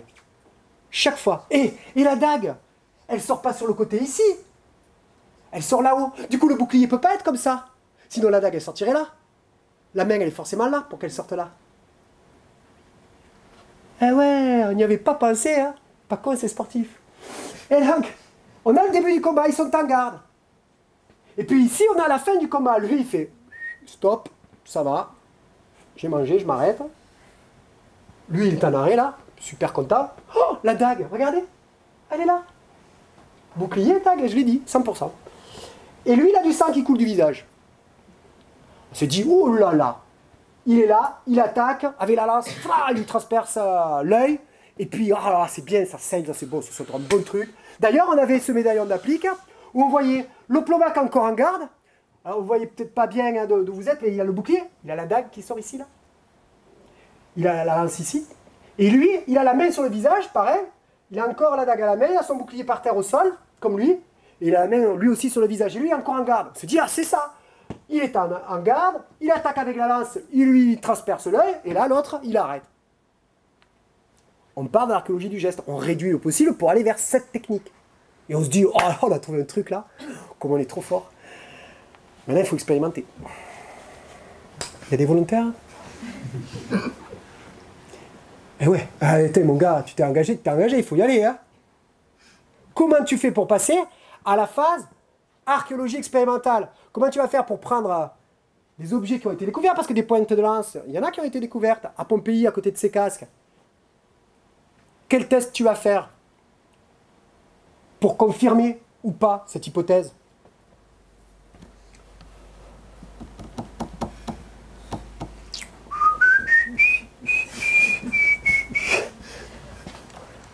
Allez, lance-toi Essayer de faire matcher la, tête de la lance et les, euh, ouvertures du casque. Et bien sûr les casques, ils ont des ouvertures. Et les pointes de lance, elles ont des dimensions. Donc on va prendre les pointes de lance de Pompéi, les casques de Pompéi qui ont été découverts côte à côte. Et si on fait comme ça, clac, on va mesurer la pointe qui rentre, on n'a pas besoin de mettre ton œil. Je suis sympa, t'as vu hein? Et on va voir jusqu'où ça rentre. Et on mesurera la pointe qui sera à l'intérieur, et ça nous dira si ça touche l'œil ou pas vous remarquerez que le casque, il fait comme ça. L'œil, il n'est pas collé là. Et la pointe, jamais, jamais, elle rentre de plus de 0,7 cm. Elle ne peut jamais toucher l'œil. L'archéologie expérimentale, c'est pas simplement faire du combat, c'est aussi mettre en action les objets dans le cadre d'une hypothèse et comprendre si ça fonctionne et éliminer ce qui ne fonctionne pas. ça ne fonctionne pas, il n'attaque pas l'œil. Pourtant, on voit bien qu'il y a du sang qui coule du visage et l'autre qui se met la main là. Il faut trouver une nouvelle hypothèse. Et il faut chercher d'autres choses. Et comprendre. Et donc, on va petit à petit, comme ça, réduire le champ des possibilités pour chacune des panoplies en opposition. Donc, chacun des duels en réalité. D'accord? On expérimente les objets, mais en archéologie du geste, on va travailler le duel la plupart du temps. C'est bon, je ne vous ai pas perdu? Excusez-moi si c'est pas très clair, n'hésitez pas, vous levez la main, vous m'interrompez, tout ça. Après, vous poserez des questions, hein. sinon je ne tiendrai pas deux heures. Ok, d'accord. Donc avec tout ça, on arrive à la fin, ne vous inquiétez pas. Tu regardes sa montre, il fait j'ai faim. Qu'est-ce qu'on a découvert? La première chose, j'ai été un peu déçu. Je vous l'avoue franchement. Voire très déçu. Je pratique un sport de combat qui est considéré comme un jeu d'échecs humain, qui s'appelle le jiu-jitsu brésilien,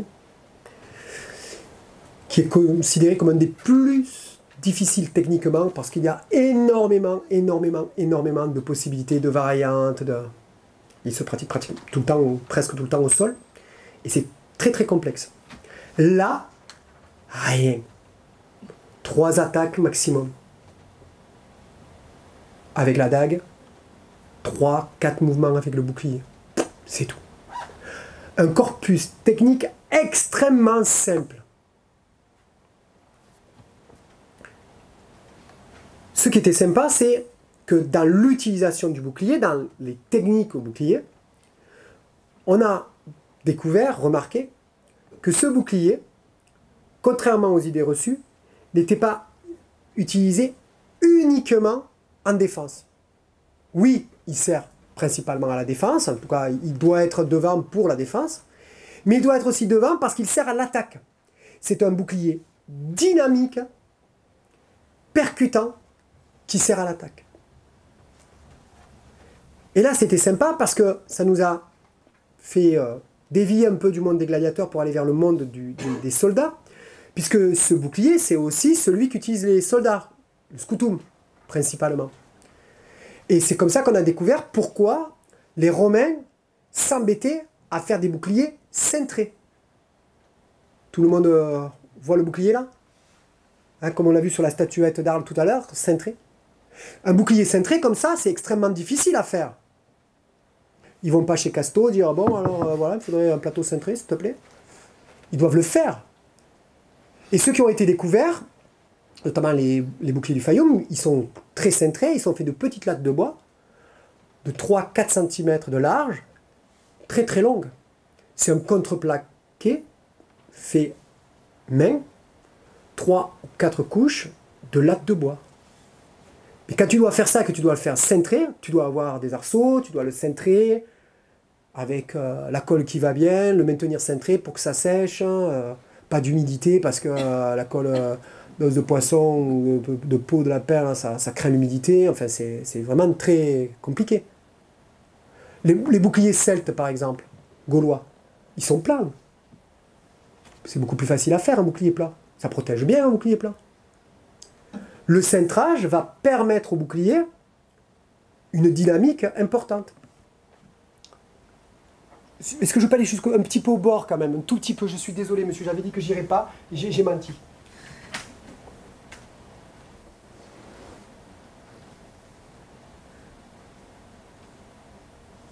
Un bouclier cintré, ça c'est le hombo, il y a la poignée là.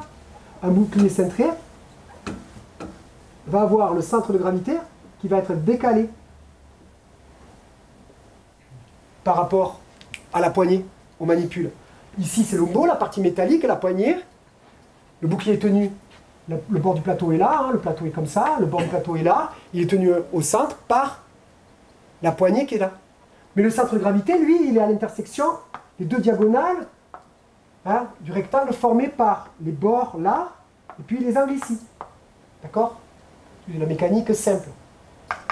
Plus cette distance est grande, plus quand je vais tendre le bras, le bouclier va tomber rapidement sur mon épaule. Et vous remarquerez, les reconstituteurs, quand vous irez voir des fêtes romaines, vous penserez à moi, Les mecs, ils se mettent des trucs sur les mains ici, pourquoi? Parce que le bouclier tombe sur la main sans arrêt comme ça. Alors quand ils veulent lever le bouclier pour le mettre en opposition pour faire un mur, ben, ils le poussent comme ça avec le bord là, avec les métacarpes là, comme ça. Et ça fait mal, forcément. Ils sont couillons, ces Romains, de faire des boucliers qui tombent sur l'épaule, alors que c'est plus simple de faire des plats. Ben non. S'ils les font courbes, avec cette mécanique spéciale, c'est pour utiliser cette mécanique. Quand le bouclier va tomber sur le bras, le bord en bas là, cette partie, elle est à la hauteur de ton genou, elle peut être à la hauteur de ta tête, et boum On va pouvoir percuter avec. Ça va permettre à la fois de se protéger, mais aussi de frapper.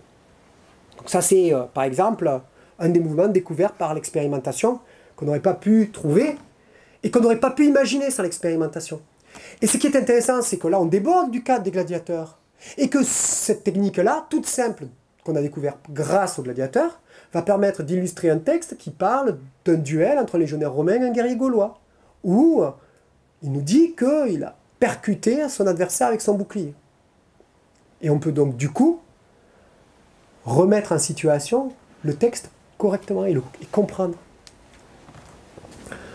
Ce corpus technique euh, très simple, vous le voyez ici exécuté, on attaque en haut, on attaque au, milieu, on attaque en bas.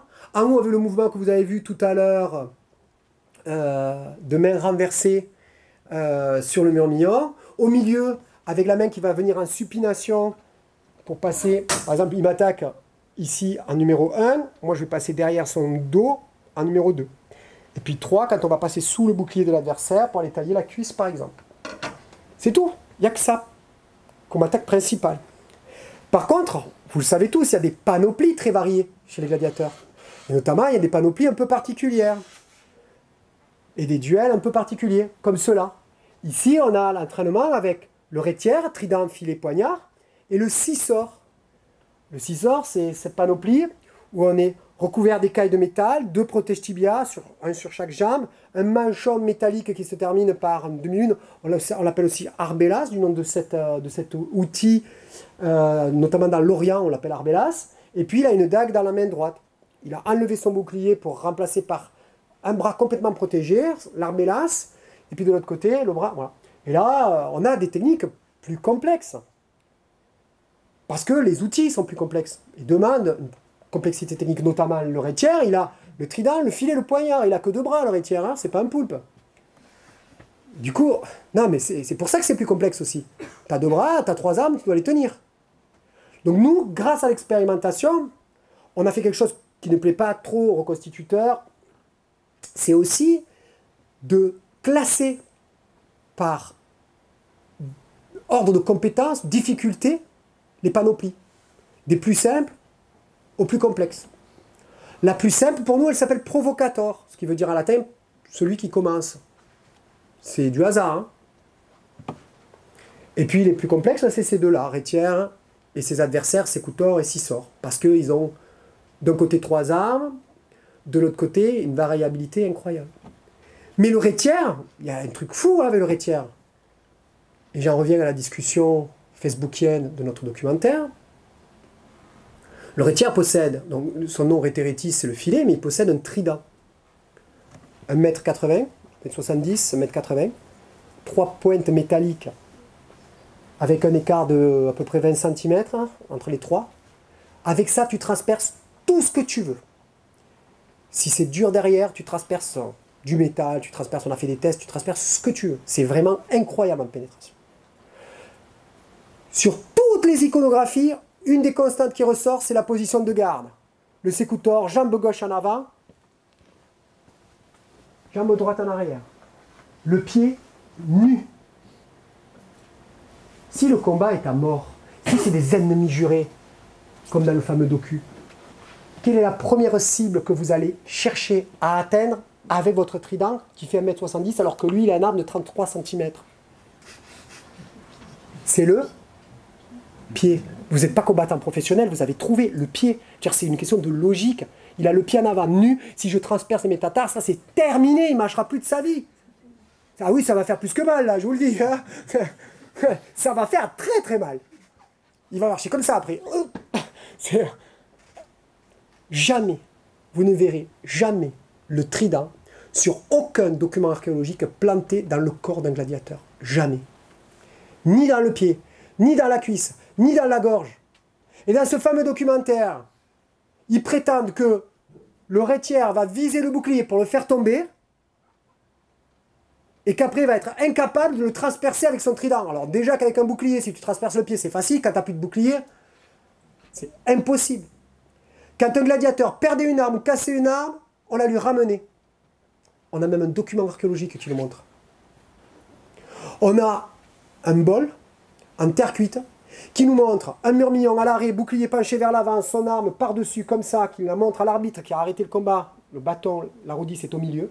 En face de lui, le trace dans la même position, mais l'arme est cassée.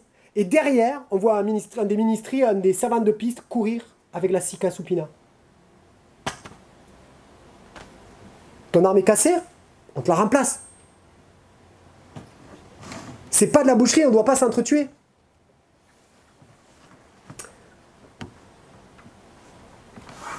Alors, quelques éléments qu'on connaît sur euh, la gladiature aujourd'hui. À la fois par nos travaux d'expérimentation, mais aussi, je vous l'ai dit, parce qu'on fait des, travaux, de recherche euh, historiques, archéologiques, plus classiques. Hein. On a notamment, je le redis, un docteur en histoire dans notre équipe qui a fait sa thèse sur les gladiateurs, et c'est aussi une partie de ses recherches que je vous donne là. Les gladiateurs sont des professionnels. Sous le Haut Empire, les gladiateurs sont des professionnels. En tout cas, ceux qui sont représentés. Il y a peut-être une gladiature amateurs, de gens qui s'amusent à, comme dans le foot pro et des amateurs qui s'amusent, mais elle n'est pas représentée. Ou elle ne semble pas être représentée. Ces professionnels sont des hommes et des femmes. Il n'y a aucun doute sur le fait qu'il y ait des gladiatrices. On a plusieurs documents. Et surtout, ils sont extrêmement bien payés. On a deux documents, dont un qu'on appelle, façon un peu erronée, la table d'Italica, Italica, c'est dans le sud de l'Espagne, hein. enfin, c'était dans le sud de l'Espagne, c'est à Santiponce. Et cette table de loi est un bronze d'à peu près un mètre carré, avec des dizaines et des dizaines de lignes, descriptions latines, qui décrivent l'organisation du combat de gladiateurs. Et on a le même document de l'autre côté de la Méditerranée, à Sardes. Et ils disent exactement les mêmes choses. En moyenne, un gladiateur pour un combat qui doit faire entre 3 et 5 minutes, et payer l'équivalent de la solde d'un légionnaire romain pour 5 ans. Alors vous choisissez votre camp. Soit vous allez vous peler les miches là-haut, dans les frontières du mur euh, d'Adrien, là, où tu vas avoir froid avec des pics et tout qui vont te tirer dessus avec leurs arcs, leurs flèches et tout, pendant 5 ans, et tu dois faire plusieurs fois 5 ans parce que tu t'engages pas que pour 5 ans, ou tu viens faire gladiateur, et à chaque combat de 5 minutes, tu auras touché comme lui pendant 5 ans. On comprend mieux pourquoi des centaines, des milliers, peut-être des millions d'hommes et de femmes se sont engagés pendant des siècles à être gladiateurs. Ils sont payés à l'avance.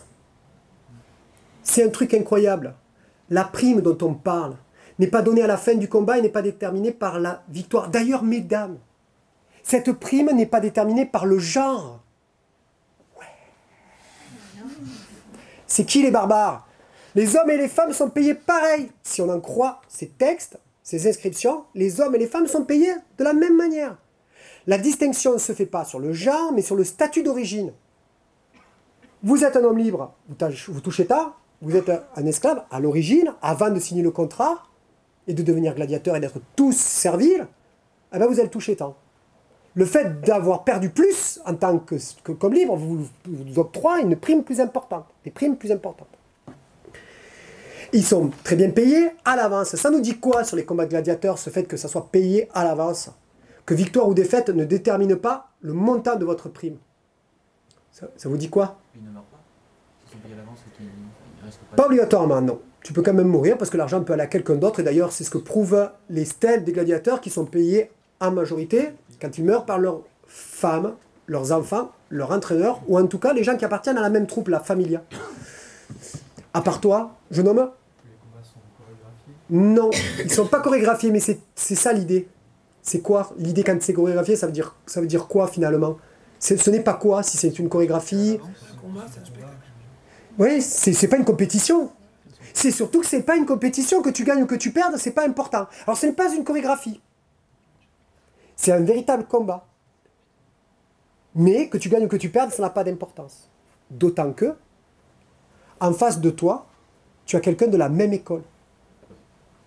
Là aussi, on est à plus de 95, peut-être 97% de toutes les inscriptions qui nous donnent le nom du gladiateur et son école, son adversaire et son école.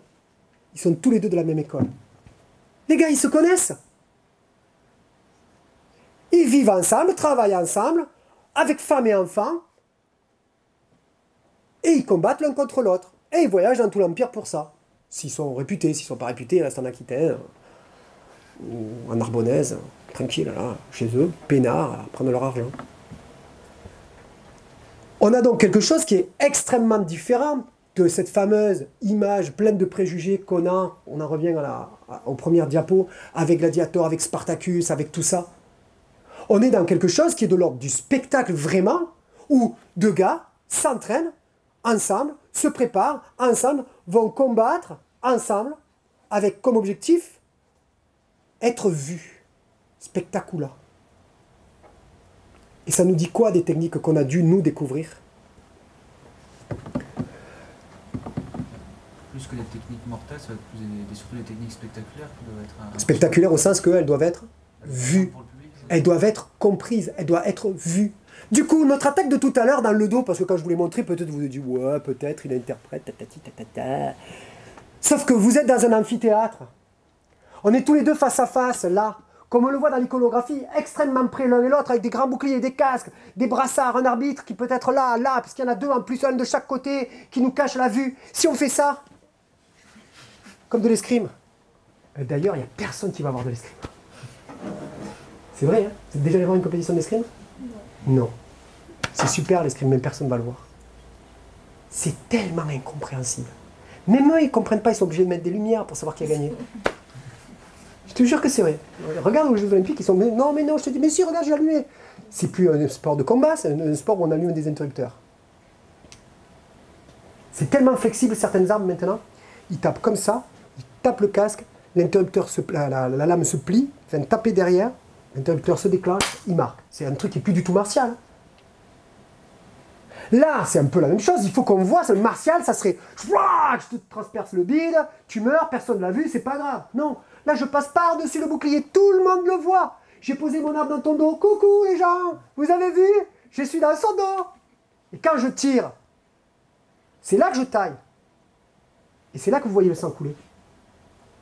Il a pris aucun risque, il sait que je ne peux pas le tuer. Mais le sang coule, vous l'avez vu, vous avez tout compris. Et en plus, ce qui est extraordinaire, qu'on a découvert là aussi en représentation, c'est que les gens pensent qu'on s'égorge. Encore aujourd'hui. Pourquoi? Parce qu'on a le casque qui fait une grosse tête comme ça. On a le bouclier, les, les, épaulières, ça fait tout un peu un truc gros comme ça. Et quand on vient chercher l'épaule ici, en fait, c'est très proche du casque. Donc, psychologiquement, de la tête. On vient dans le dos ici. Pour les gens qui sont dans les gradins, Yugula, il s'égorge. Ah, mais c'est ça, alors on vous a vu, ah, c'est bien, c'est. Ah, mais c'est tout à fait ça, vous vous égorgez. Ah non, pas du tout, mais pourquoi vous dites ça? Et au fur et à mesure, j'ai compris. Et les gens, même aujourd'hui avec des armes non tranchantes, quand ils nous voient combattre, ils disent Oh là là, mais qu'est-ce que c'est violent Vous avez vu vos marques dans le dos? Même si c'est pas tranchant, ils voient les marques dans le dos. Ils pensent qu'on s'égorge. Alors imaginez si les armes étaient tranchantes et qu'en plus le sang coulait d'ici. Mais non, on s'égorge pas, madame. Mais non, vous pouvez faire venir vos, enfants, il n'y a pas de problème. on les aime bien. En réalité, les gladiateurs, pour moi, peuvent être considérés comme des athlètes, oui, préparés comme aujourd'hui un combattant de haut niveau, mais pas un guerrier. C'est pas un super guerrier. Et je combats cette idée reçue d'aujourd'hui que le, ils disent, euh, parfois on utilise le terme gladiateur pour euh, quelqu'un qui, qui va au combat, qui est prêt à, tout. Hein. On voit des boxeurs des fois ou des, compétitions qui s'appellent les gladiator tour, machin, etc. Non, les gladiateurs, c'est des catcheurs, hein, pour schématiser, en gros. C'est peut-être un peu excessif, mais c'est des gens qui vivent ensemble, s'entraînent ensemble, ils font pas de chorégraphie, mais il y a tellement peu de technique, ça peut venir là ou là. Mais ce qui est important, c'est que cette technique, elle est tellement simple. Elle n'est pas mortelle. On va pouvoir la faire à pleine vitesse. On va pouvoir la faire avec une intensité incroyable, avec une violence incroyable. Sans risque. Et c'est ça qu'on veut voir. C'est ça que les gens voient quand ils sont dans les gradins. Une énorme violence exprimée, du sang qui coule, deux combattants qui se sont engagés vraiment, qui sortent essoufflés. On entend le souffle des combattants même dans l'amphithéâtre. Finalement, ce n'est pas les morts, parce qu'il n'y en a pas. Très peu. Un art donc de combat, oui, mais avant tout de spectacle, pas de guerre. On ne peut pas utiliser ces techniques pour l'efficacité martiale. D'ailleurs, euh, dans aucune légion, trident, filet, la lance est abandonnée très vite au profit du pilum, qui a une fonction bien plus intéressante. Euh, pas de sika supina, alors que ça marche super bien en gladiature. Pas de casque à grande crête et large bord. Non, les légionnaires, un casque beaucoup plus léger, euh, qui dégage les oreilles pour qu'on entende les ordres, qui dégage bien la vue pour qu'on puisse voir même sur les côtés. Euh. Et quelque chose qui, va avoir une importance économique primordiale pour le monde romain ces milliers d'objets archéologiques hein, découverts, statuettes, euh, lampes à huile, bijoux, jouets d'enfants, manches de couteaux sculptés, épingles à cheveux, poids de métier à tisser, enfin tous les, tous les objets de la vie quotidienne quasiment ont été retrouvés à l'image des gladiateurs, à part le t-shirt James Spartacus, ça on n'a pas trouvé. Euh, ça, ça va être vendu, vous le savez, euh, autour des amphithéâtres, et donc il y a une économie incroyable, outre l'argent que gagnent les gladiateurs. Ils génèrent aussi beaucoup d'argent. Et, euh, et des combats qui vont être identiques euh, dans tout l'Empire. Parce que la gladiature, euh, aujourd'hui, nous, on, la comprend, c'est une gladiature qui est, vous l'aurez compris, vous, très loin des clichés, des préjugés, des fausses informations distribuées pendant 2000 ans autour de, ces combattants, mais une gladiature spectacle économique et ciment de la société romaine. Vous voyagez dans tout l'Empire romain, où que vous alliez, vous avez à proximité un amphithéâtre et vous y verrez les mêmes duels. Dans l'iconographie, il n'y a pas de différence entre, à part artistique, là ça va être une lampe à huile un peu plus comme ça, truc, mais ce qui est montré mécaniquement, il n'y a pas de différence entre quelque chose qui est en Afrique du Nord au IIe siècle quelque chose qui va être euh, dans l'Orient au troisième ou au quatrième, ou euh, quelque chose qui va être en, Gaule au, premier. Pendant 3-4 siècles, il y a une constance incroyable et il n'y a pas tant de panoplie que ça. Provocator, qui combat contre notre Provocator. Thrace, et Murmillon qui combattent ensemble. Rétière, Sécoutor et Sissor. Le Rétière affrontant ces deux panoplies qui sont euh, issues l'une de l'autre. Et Cédère, qui n'est pas sur un char, jamais. Il n'y a pas une seule image de combat sur char. Il s'appelle Esseder parce que Essedoum, c'est le char gaulois. Et avant de s'appeler Esseder, il s'appelait Gaulois, mais la panoplie, c'est celle du guerrier gaulois. Hein. Donc, Esseder et Equites, euh, le gladiateur équestre. Voilà, je crois que j'ai à peu près tout dit. Je suis à 1h28. Il vous reste donc une trentaine de minutes pour me poser toutes vos questions. Merci beaucoup à tous.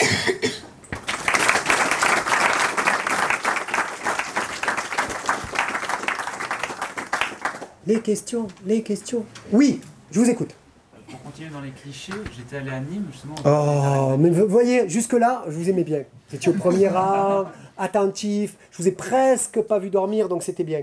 Et vous me parlez de Nîmes. Je viens d'Arles, je nomme.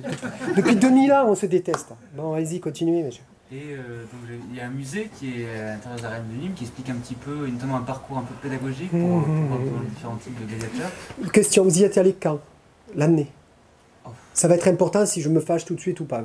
C'était il, y a de cela au moins 5 ans. Mhm, d'accord. ok, ok. Continuez. C'est pas très bon signe c'est moyen signe. Allez. Et donc, les questions justement de, des clichés que j'ai vus, c'était les. Il y aurait eu, justement, notamment dans les arènes de Rome, des, batailles navales. Ah, j'en étais sûr. La fameuse question des nomachis. Alors, je n'ai pas expérimenté les nomachis, que ce soit clair. Mais j'ai eu la chance de travailler avec un chercheur qui a fait sa thèse sur le sujet, qui s'appelle Gérald Cariou, et vous pourrez trouver sa, thèse aux presses universitaires de je sais plus. Voilà. Et elle s'appelle euh, Ave Caesar Moritori te salutante. Comme vous le savez, ça n'a jamais été dit pour les gladiateurs, mais euh, pour une bataille navale. Euh, Naumachia avec Caesar. Voilà, le titre, c'est ou Naumachia ou l'autre. Enfin, voilà, on a ça sur la couverture. C'est une thèse qui date déjà de peut-être une petite dizaine d'années. Et je suis formel, on ne peut pas faire de bataille navale dans l'amphithéâtre flavien de Rome, ni dans aucun amphithéâtre. Pour plusieurs raisons. D'abord, comment tu rentres le bateau, qui fait plusieurs dizaines de mètres, à part par hélicoptère? Comment tu manœuvres avec des bateaux qui font plusieurs dizaines de mètres? Parce que même dans l'amphithéâtre flavien, le Colisée à Rome, on est sur 55 mètres de bord à bord. Comment tu fais pour des bateaux qui font une trentaine de mètres? Ok. Parlons de l'eau. Il est où le bouchon? Non, parce que moi je suis un peu con. Hein. J'ai des baignoires depuis très longtemps. Et dans ma baignoire, j'ai un bouchon. Là, je peux mettre de l'eau et jouer à la bataille navale. Où est le bouchon? On nous a expliqué très clairement, avec les données archéologiques, hein, les aqueducs qui arrivent, que l'eau arrivait. Mais ça ne veut pas dire que c'est pour faire des batailles navales. C'est encore une fois une de ces hypothèses farfelues que l'eau arrive, alors qu'est-ce qu'on va faire d'extraordinaire? On ne peut pas dire que l'eau c'est juste pour nettoyer, parce que ça serait vraiment trop simple. Alors on va dire que c'est une bataille navale. Tu, fais, tu rester comment l'eau? Ok, tu fais un, un amphithéâtre hermétique. Orage méditerranéen. Il y en a quelques-uns, hein ton amphithéâtre hermétique devient une piscine pendant des mois et des mois. J'ai fait les inondations de Nîmes et du pont du Gard. L'amphithéâtre à Nîmes, c'est ce qui se remplit le plus vite et ce qui se vide le plus vite. Parce que justement, il ne faut pas que ça soit hermétique, c'est un entonnoir tourné vers le ciel. Construction méditerranéenne, où on a des orages qui peuvent en quelques heures déverser autant de pluie qu'en une année à Rennes. Moi, je ne sais pas comment tu fais pour faire une bataille navale. Les batailles navales, elles ont existé mais dans des lieux dédiés. D'ailleurs, Claude a construit une nomachie, hein, le lieu s'appelle comme le spectacle, pour ça. Mais c'est impossible. Par contre, pour nettoyer, on le sait grâce à Hercule, faire circuler de l'eau, c'est pratique. Et quand tu as un lieu de spectacle où tu as 50, 60 000 personnes qui viennent, qui mangent, qui dorment, qui font tout ce que vous pouvez imaginer faire quand vous êtes entre hommes et femmes, euh, que vous voulez faire la fête, hein? Voilà tu as intérêt de nettoyer. Des animaux égorgés, euh, parce qu'il y a quand même des chasses, de temps en temps, on en tue quelques-uns. Il y a quand même aussi les jeux de midi où on met quand même des, gens à mort, tout ça, ça doit sentir bon, tu vois. Donc, l'eau, oui, pour nettoyer sûrement, pour faire des batailles navales, c'est pas du tout prouvé. Au contraire, tous les éléments montrent le contraire. Tous les éléments factuels montrent le contraire. Après, l'imaginaire, on peut tout faire. Donc, c'est pas moi qui ai fait cette partie. Monsieur. Je voudrais revenir sur ce que vous avez dit à propos des, liens entre l'armée en fait oui. Euh, et la, oui. la gladiature. Est-ce que euh, finalement la, vision que vous proposez de la gladiature, qui est assez convaincante, euh, est-ce qu'elle est valable pour toute, toute, la période durant laquelle la gladiature a, existé? Puisqu'on sait par exemple qu'à la fin de la République, on a essayé d'importer dans dans l'armée certaines techniques de la gladiature, alors c'est pas très bien, les textes qui en parlent peuvent être vraiment généralisés, mais voilà, est-ce que finalement, mmh. euh, il y, a eu aussi des techniques martiales qui, ont pu sans doute être considérées euh, comme, euh, disons, utilisables par les, soldats à la guerre? Alors, votre question, elle est extrêmement riche. je ne pourrais pas répondre à tout, mais je vais essayer de rapidement vous donner tous les éléments que j'ai. D'abord, évidemment, je parle de gladiature du Haut Empire, là. D'accord? Celle qu'on connaît le mieux, celle pour laquelle on a rassemblé avec mes équipes 2000 documents archéologiques. voilà, d'accord? C'est celle du Haut Empire.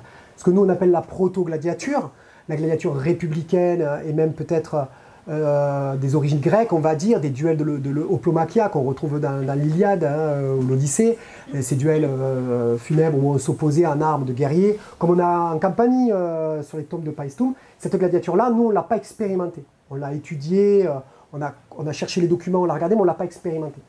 pour être, pour être bien clair. Ensuite, on a un ami à nous qui est chercheur et qui fait sa thèse sur ce sujet-là spécialement, avec qui on travaille sur des documents, euh, enfin sur euh, certaines parties expérimentales. Donc on pourra en savoir plus dans quelques temps. Et ce qu'on sait du lien avec l'armée, notamment euh, du moment, au moment des réformes de Marius, où on suppose que des doctorés sont allés entraîner des troupes, et c'est ce qu'évoquent les textes qu'on a à ma connaissance, là oui, il y a un lien. Il y a sûrement un lien. Parce que les techniques qui sont du haut empire, elles ne sont plus martiales, mais elles ont été martiales. Je m'explique, le fameux geste qu'on fait comme ça, qu'on retourne, il a été martial. Quand l'arme, au lieu de faire 33 cm, elle faisait 50 cm, à cette époque-là, et qu'on était avec de l'équipement guerrier, c'était plus un mouvement de taille qu'on allait faire dans le dos, dans taille dans le dos, mais un mouvement d'estoc avec la pointe. C'est le même geste exactement. Au lieu de venir faire ça, on va faire ça. Et là, on a besoin d'une arme longue pour faire beaucoup de vitesse sur ces fameux 20 derniers centimètres qu'on va rentrer dans le corps de l'adversaire pour que ça pénètre. Il faut mettre beaucoup de vitesse et une pointe très acérée. Donc il y a eu un lien martial, vraisemblablement, au niveau de la République.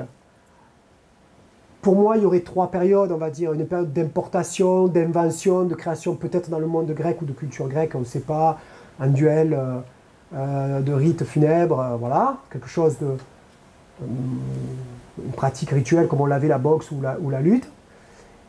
Puis les Romains le récupèrent, l'introduisent à Rome, et là, c'est une période qu'on connaît peu, on a peu d'éléments, et on a peut-être pris des esclaves, des armures, des. Voilà.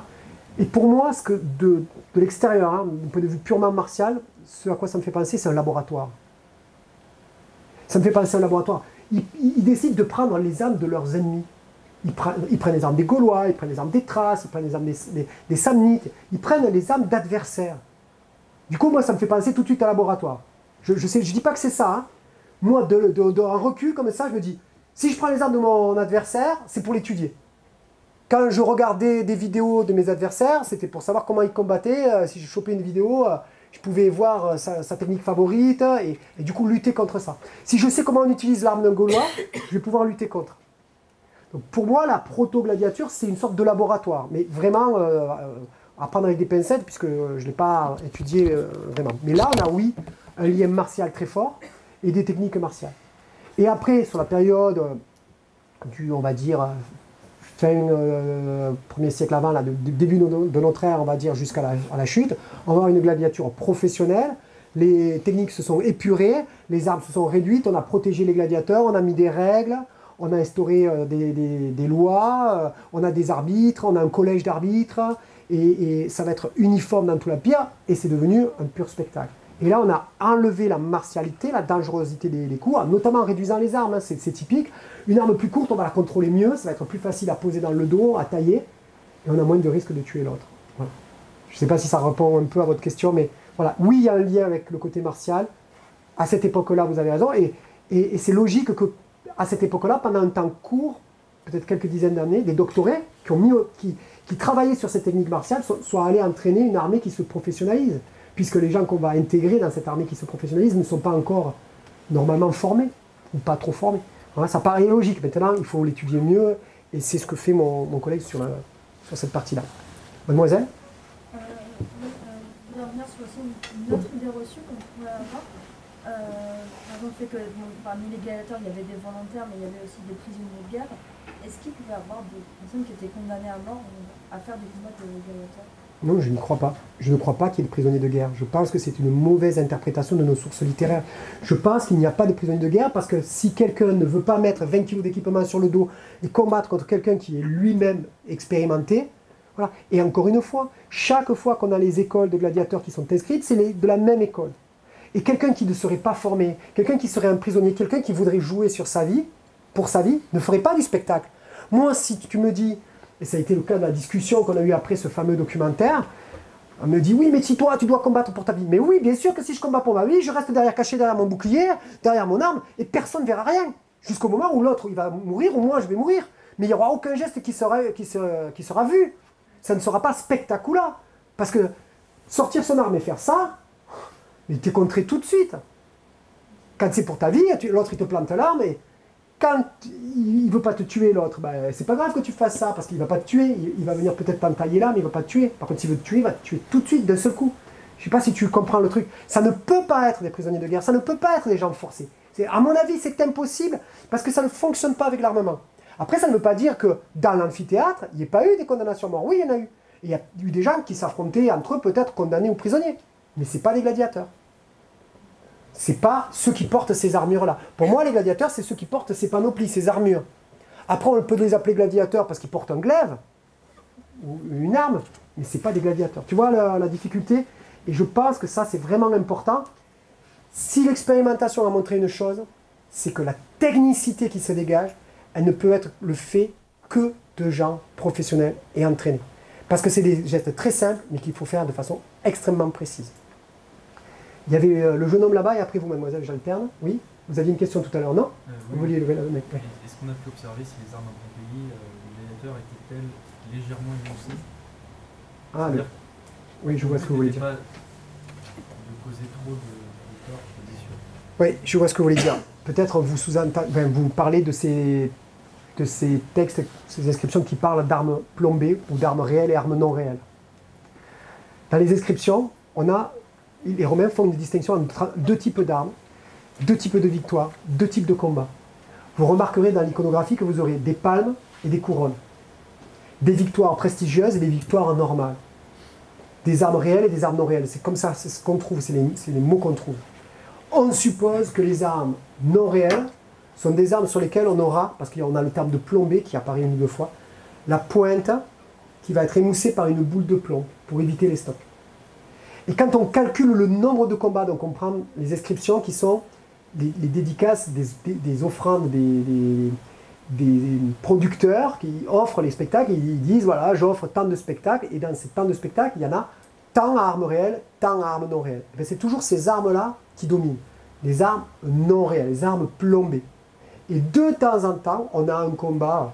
Donc en gros, si on offre 20, 25 combats, on va en avoir 3, 4 à armes réelles. Les autres seraient sûrement plombés. Donc on a le tranchant, mais on n'a pas le piquant. Comme ça, dans ton geste, si tu te trompes, pouf, tu tues pas ton copain. Tu le tailles, mais tu le tues jamais parce qu'elle a pointe. Et de temps en temps, on va combattre avec ces armes-là. Par contre, les 3 ou 4 qui ont été découvertes à Pompéi n'ont pas été découvertes avec cette, cette boule de plomb. Et là aussi, ça paraît logique parce qu'il aurait fallu le découvrir dans l'action, parce que ça, c'est quelque chose qu'on n'utilise que sur le moment. C'est comme une mouche en escrime. À chaque duel, une fois que tu as, fini, ta mouche, tu l'enlèves et tu la jettes parce qu'elle n'est plus opérationnelle. Elle ne te protège plus. Mademoiselle. L'année dernière, quand j'ai étudié Pompéi, on a fait une séance sur l'art du, du spectacle, on a parlé des gladiateurs du coup, et on avait dû étudier un texte qui disait euh, en gros euh, que, les gladiateurs, quoi, que ça coûtait déjà cher, donc en plus de les tuer, ça, ça, les- ça coûtait encore plus cher. Donc ça serait un peu, comme vous dites, un peu débile en gros de, les tuer parce que voilà, c'était que les riches qui pouvaient offrir ça. Alors en fait, pour moi, c'est l'inverse. Parce qu'ils sont payés à l'avance, donc c'est pas grave, enfin, euh, que, tu, que tu meurs ou que tu meurs pas. Quand ton combat doit être à arme réelle, c'est ce que nous dit notamment la table d'Italica, tu es payé double. Donc en gros, je dis un chiffre au hasard, tu es payé 1000 euros pour les combats classiques, et quand tu es dans un combat où tu risques ta vie, plus tu vas être payé 2000. Tu es payé à l'avance. Ta famille aura l'argent et gardera l'argent. Donc que tu meurs ou que tu meurs pas, ça ne change rien. D'accord? Attends. Par contre, ce que tu rapportes, ça va changer. Parce que ton, mm, ton propriétaire, le laniste, il touche 5 fois ce que tu gagnes toi. Du coup, est-ce qu'il veut que tu, si tu lui rapportes à chaque combat 25 ans de solde d'un légionnaire romain en moyenne, est-ce qu'il veut que tu meurs?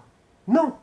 Et on a regardé dans les statistiques, on a essayé de faire des, statistiques, et ceux qui semblent le plus mourir, c'est les jeunes gladiateurs. En fait, si on fait une... Je suis désolé. Si on fait une courbe, d'accord Ça va pas être comme ça, le nombre de morts. C'est pas plus tu avances dans ta carrière, et puis d'accord Ça va être comme ça. Au départ, sur tes trois premières années d'engagement, tu as beaucoup de chances de mourir. Tu as une chance, tu m'as compris, risque. Et là, ensuite, la courbe, elle grandit presque plus. Tu as presque plus de chances de, mourir. D'accord? Elle, ça monte plus. Tu as presque plus de risques. Les risques, tu les as pris au début. Parce qu'au début, tu coûtes pas cher à perdre. Tu as été payé 100 euros, tu m'as rapporté 500. Si je te perds au prochain combat, ben 500, c'est pas grave. Je préfère te perdre toi qui me rapporte 500 que lui qui me rapporte 10 000. Tu vois, donc si le producteur du spectacle vient et me dit je veux un combat où un des deux va risquer sa vie, je vais dire toi. Parce que tu me rapportes moins. Tu comprends Il faut inverser le truc. C'est pas parce qu'il coûte cher, c'est parce qu'il rapporte beaucoup. Et c'est toujours la même chose. hein. Un Émirati, il préfère perdre sa Ferrari que son cheval de course. Parce que son cheval lui rapporte de l'argent. Alors que sa Ferrari ne, lui en coûte, ne, ne fait que lui en coûter. Le cheval lui en coûte aussi beaucoup, autant peut-être plus, mais il lui rapporte aussi. On va essayer de... euh, voilà, là, là, après on revient. Alors moi c'est sur les, les sources. Est-ce qu'on a des sources qui sont euh, intègres et qui euh, impliquent des, des mises à mort qui ne soient pas souhaitées en dehors du cas où euh, l'un des deux gladiateurs va être sanctionné? Tu veux dire un accident? Voilà, un, un accident. Est-ce qu'on a une source d'un accident? Ouais, Parce que je, je- je simplifie pour ceux qui n'ont pas fait langage particulier pour, euh, troisième cycle. Euh, on n'a pas de source d'accident. En tout cas, pas qu'on a pu identifier comme accident. Ni euh, Pas de double touche. pas de pas, là, pas d'afterglow, pas de tout ça on n'a pas. On n'a pas. C'est c'est logique dans la gladiature. C'est logique parce qu'on n'est pas sur une pratique euh, compétitive, agonistique. On n'est pas vraiment, on n'est pas sur de l'agon.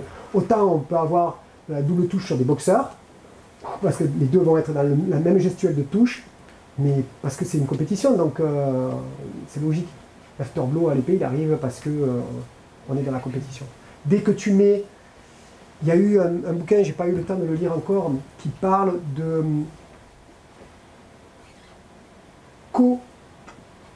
compétition, c'est la, la compétition coopérative. Quand on coopère, même quand on est dans un affrontement comme les gladiateurs, mais qu'on coopère, eh ben, on- tous ces problèmes qu'on a dans l'escrime, ou l'escrime médiéval, etc., où on se touche en même temps, on ne le retrouve plus. Parce qu'on coopère et on accepte de prendre le risque parce qu'on sait que l'autre va mesurer sa riposte pour simplifier. Oui, Oui, euh, s'il n'y a pas de, de volonté de, comment dire, de- que tu es. d'efficacité martiale, Oui. est-ce que expérimentalement vous arrivez à, à comprendre comment est-ce qu'on utilisait par exemple une, une lame courbe vers l'arrière comme ça ou un, tri, ou un trident Oui. C'est vraiment, tout est dans les sources. Le trident, quand tu regardes les sources, euh, le rétière, c'est un des plus représentés. hein. Euh, 37 ou 40% des sources, c'est le rétière. Euh, le trident est toujours sur le bouclier ou sur le casque. En fait, c'est une arme de proprioception qui permet de rallonger la main. On va venir en contact, toucher. Et c'est pour ça qu'on a une petite dague derrière. Il n'y aurait pas la dague et ça serait différent. Et c'est pour ça que le trident n'est jamais sur le corps pour pointer. Il est toujours sur le bouclier ou sur le casque, proprioception. Dès que l'autre va casser la distance, on a des sources où on voit pointe en bas, trident comme un, un mur, ou pointe en haut, trident comme un mur. Ça dépend de la position de la main sur le, sur le bois. Imaginons que la pointe est là. Si j'ai comme ça, je vais faire ça. Si j'ai comme ça, je vais faire ça et donc j'aurai la pointe en bas. En fonction de la main, comment elle est placée sur le manche, hein, sur la sta. Et donc on a ça, ça, ça on l'a sur la représentation. Et derrière la dague qui vient tailler. Donc le trident, c'est un repoussoir. La lance, c'est un repoussoir. La fameuse histoire du casque, on a fini par comprendre. hein. Tu mets un casque comme celui-là, les yeux ils sont loin, mais le front, les arcades, elles sont en contact ici. Et l'autre il tape là, pa, pa, pa, pa, pa, pa. Et bien au bout d'un moment, comme un boxeur, tu as les arcades qui fendillent, et tu as le sang qui coule, tu vois plus rien, tu es obligé d'arrêter le combat. T'es pas mort, t'as pas les transpercés, mais si tu t'arrêtes pas, tu es aveuglé. Et la, la lame courbe Et la lame courbe, eh ben, elle vient derrière, dans le dos, faire ça, et tailler, comme la lame simple. Simplement, par rapport à la lame simple, elle permet d'être plus loin, mais de toucher plus loin. Si on mettait le bouclier ici, à la même distance, imagine que tu as le bouclier ici, le dos ici, elle, elle touche, elle, elle touche pas. Mais je, croyais- je croyais que la courbure était vers l'arrière. La courbure, elle est vers l'arrière.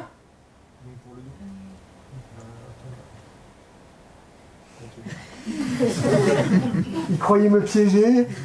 Je les adore, ils sont nerveux aussi. hein. Ah, franchement. Ah, Il y a une question de rotation de la lame. C'est pour ça que il y a toujours une question de rotation sur les armes romaines. Tu remarqueras même avec un glaive, la poignée, elle est toujours fine et cannelée. La pseudo-garde et le pseudo-pommeau, toujours très très gros. Parce qu'on va faire glisser. Tu, as vu comment ça glaive Il y a toujours une, truc très. Et là, tu as un gros pommeau et un gros truc. Tu vas faire glisser l'arme pour aller faire une rotation. Parce que quand tu fais les stocks, que tu rentres comme ça, si tu veux pouvoir faire un maximum de dégâts, il faut que tu puisses faire ça. C'est pour ça qu'à un moment donné, à l'époque, euh, impériale, la pointe va pas rester comme ça, mais elle va devenir comme une pyramide. Comme ça, elle rentre de quelques centimètres et tout de suite ici, là, clac, clac, elle désosse. Juste avec la rotation. Du coup, quand tu es coincé là dans l'os, le, le pseudo-poumon là derrière, la grosse boule, tu tires.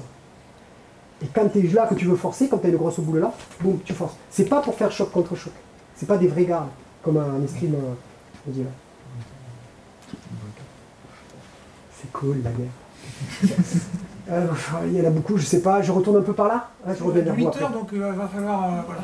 Oui, oui, excusez-moi. Je, Non, non, non, mais c'est pas grave. Mais je pensais pas être si long. Euh, alors, ça sera un peu la technique. Ouais. Et euh, qu'est-ce que vous pensez des témoignages littéraires, comme Cassius par exemple, qui décrivent bah, justement Commode euh, comme euh, un empereur qui aurait pratiqué la gladiature? Est-ce que ça vous paraît crédible ou...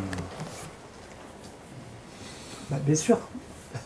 C'est crédible si en face euh, c'est quelqu'un qui veut pas mourir, enfin qui veut pas tuer. Tu vois ce que je veux dire? Si, Encore une fois, si on dit euh, c'est quelqu'un qui s'entraînait, qui était capable de tuer des gens, voilà. Ou en face on a quelqu'un qui se laisse faire et qui va mourir, qui est un condamné, et c'est on joue euh, le, mec super puissant. Ou alors en face un, professionnel du catch.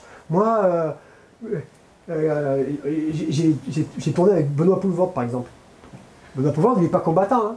mais ils avaient pris un combattant pour tourner avec lui sur une scène de combat sur une scène de, baston en boîte de nuit parce qu'il savait que le combattant allait maîtriser et qu'il allait pouvoir faire croire que c'est l'autre qui gagne, même si c'est lui qui est techniquement plus fort. Pour, pour, euh, pour ce que nous explique Assis, c'est la même chose. On a euh, quelqu'un qui veut se la péter et qui, pour se la péter, va être avec les plus grands combattants euh, dans l'imaginaire. C'est l'imaginaire. L'autre en face, il maîtrise tellement bien.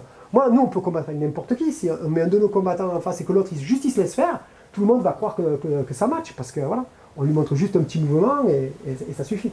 Après, ça ne sera pas aussi spectaculaire parce que on ne va pas pouvoir exprimer autant de violence. L'empereur, ce n'était pas, à mon avis, ce qu'il souhaitait. Et là, on sort du cadre de, ma, de mes recherches. Euh, Qu'est-ce qui détermine les valeurs d'un combat? Le mec a trop ramassé, il s'arrête, c'est le premier sang, ça... On ne sait pas très bien. Une règle qu'on on est presque sûr, c'est celui qui tombe a perdu. Pourquoi? Parce que l'égali- l'égalité se dit tantes ici. Ils disent pas égalité, ils comptent pas des points, ils disent renvoyer debout. Donc les deux sont renvoyés debout, ils seraient à égalité. Donc ça veut dire celui qui tombe aurait perdu. C'est c'est la seule chose qu'on peut avoir comme hypothèse.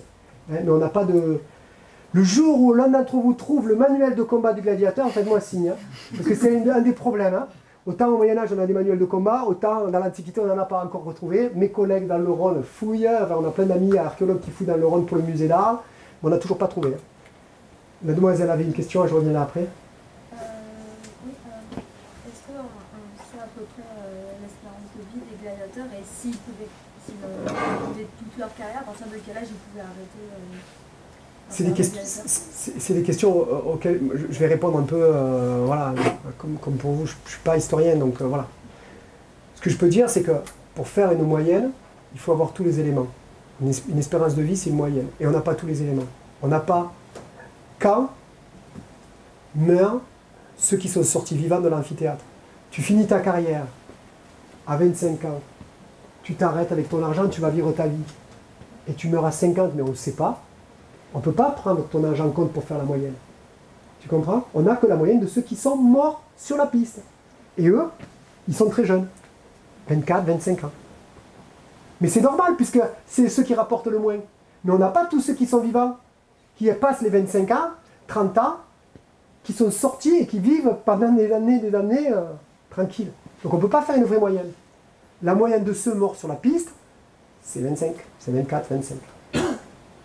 Allez, une dernière, parce qu'après, euh, voilà, une dernière, une dernière. Voilà, c'est vous.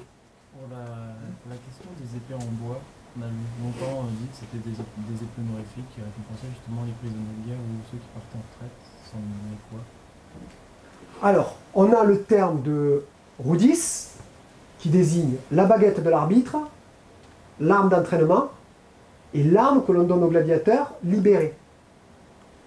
Mais on n'a pas retrouvé, on n'a pas sur les images de morceaux de bois qui ressembleraient à une arme. La seule arme en bois qui a été retrouvée, c'est une Sica supina, dont euh, on- n'a plus que le moulage aujourd'hui. Alors peut-être qu'il y a des armes en bois pour l'entraînement, et peut-être que ces armes en bois sont données de façon honorifique aux gladiateurs qui, se, qui, arrêtent. Une simple baguette ou un bâton peut être juste là aussi comme symbole, puisque c'est que, que symbolique, on ne va pas s'en servir après. Donc oui, ça existe, mais après, euh, que j'en sais, moi, je ne peux pas te dire plus que ça, j'en sais pas plus que ça. Encore mille merci de m'avoir accueilli, de m'avoir écouté, toutes vos questions. Merci beaucoup de l'invitation.